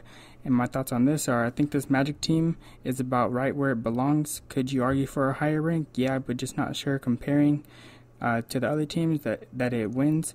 Most definitely, this team alone is a higher rank, just comparing to the rest, not very sure. So at number 18, you have the Portland Trailblazers, and on the other team, they have Damian Lillard, Clyde Drexler, Jerome Kersey, Rasheed Wallace, and Bill Walton. Again, I'll state that this team is a hit or miss. More than likely, I'll say that they deserve to stay where they are or possibly go up a little bit higher, but this team could definitely make a lot of noise. That's if they got the chemistry down. Uh, but I'll, yeah, I'll keep it at that. So at number 17, you have the Phoenix Suns, and they have Steve Nash, Dan Majerle, Shawn Marion, Connie Hawkins, Amar'e Stoudemire. My thoughts on this: this team could be arguably higher. Don't see why or how you would degrade this team. All in their prime could be very interesting and fun to watch, but yeah, I'll leave it at that. So with the next team, at number uh, 16, you have the Atlanta Hawks, and they have Lenny Wilkens, Joe Johnson, Dominique Wilkins, Al Horford, and Bob Pettit. Uh, so my thoughts on this are, uh, in my opinion, this team, like others, is ranking uh, just a little high. Not saying they're not good or couldn't be, but just again comparing to the rest, don't see if they deserve this ranking. So yeah, that's that. Uh, number 15, you have the New York Knicks, and on their team they have Earl Monroe, John Starks, Carmelo Anthony, Charles Oakley, and Patrick Ewing.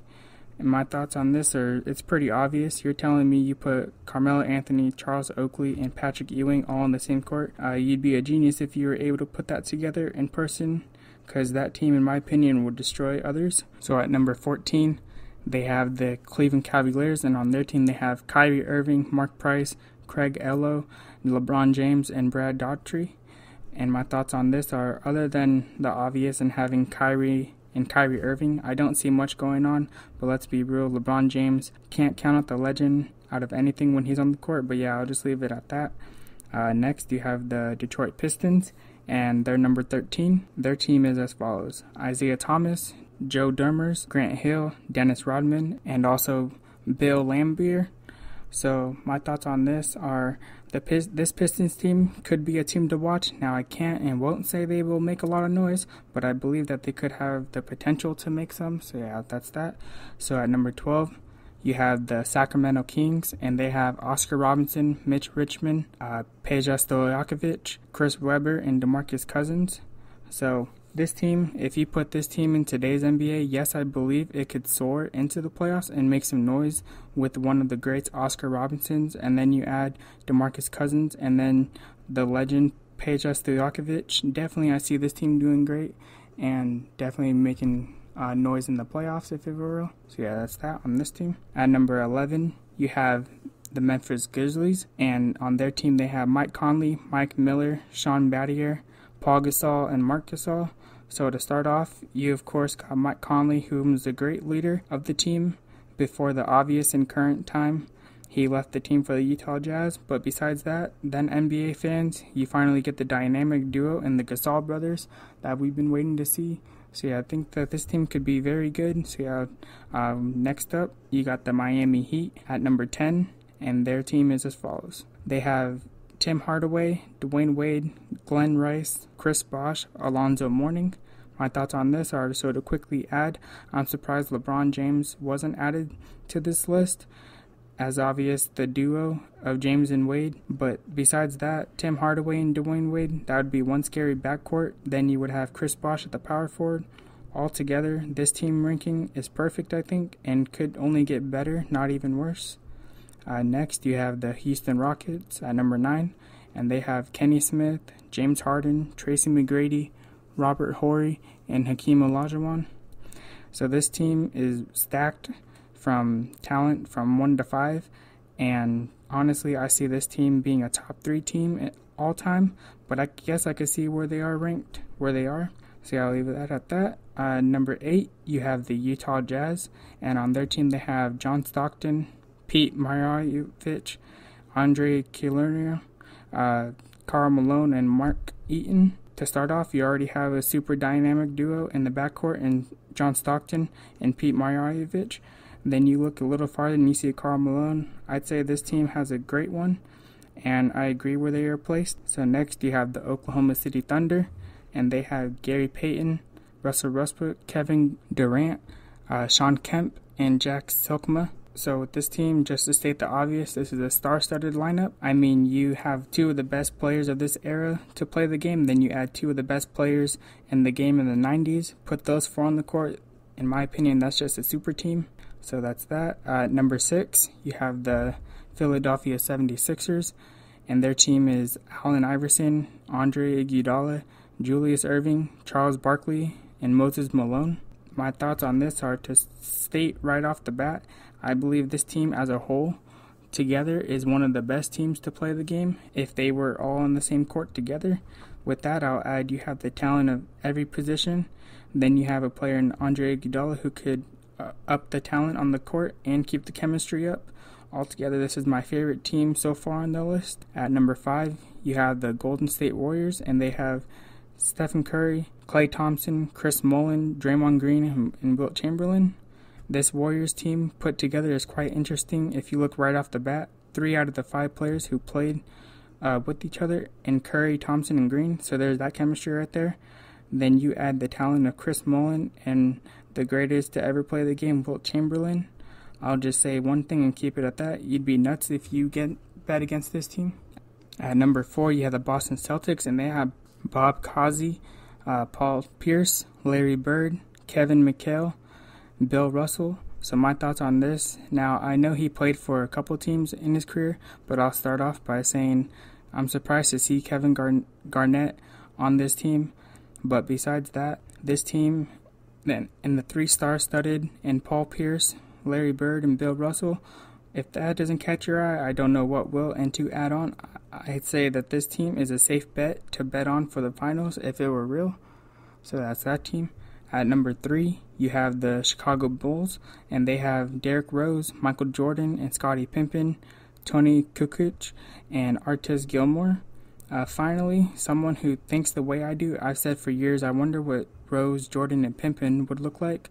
I'd honestly say that due to this talent of this team has singly accomplished, they deserve to be top three, or some would even argue number one. So that's that. Next up, you have the final two. And so at number two, they have the San Antonio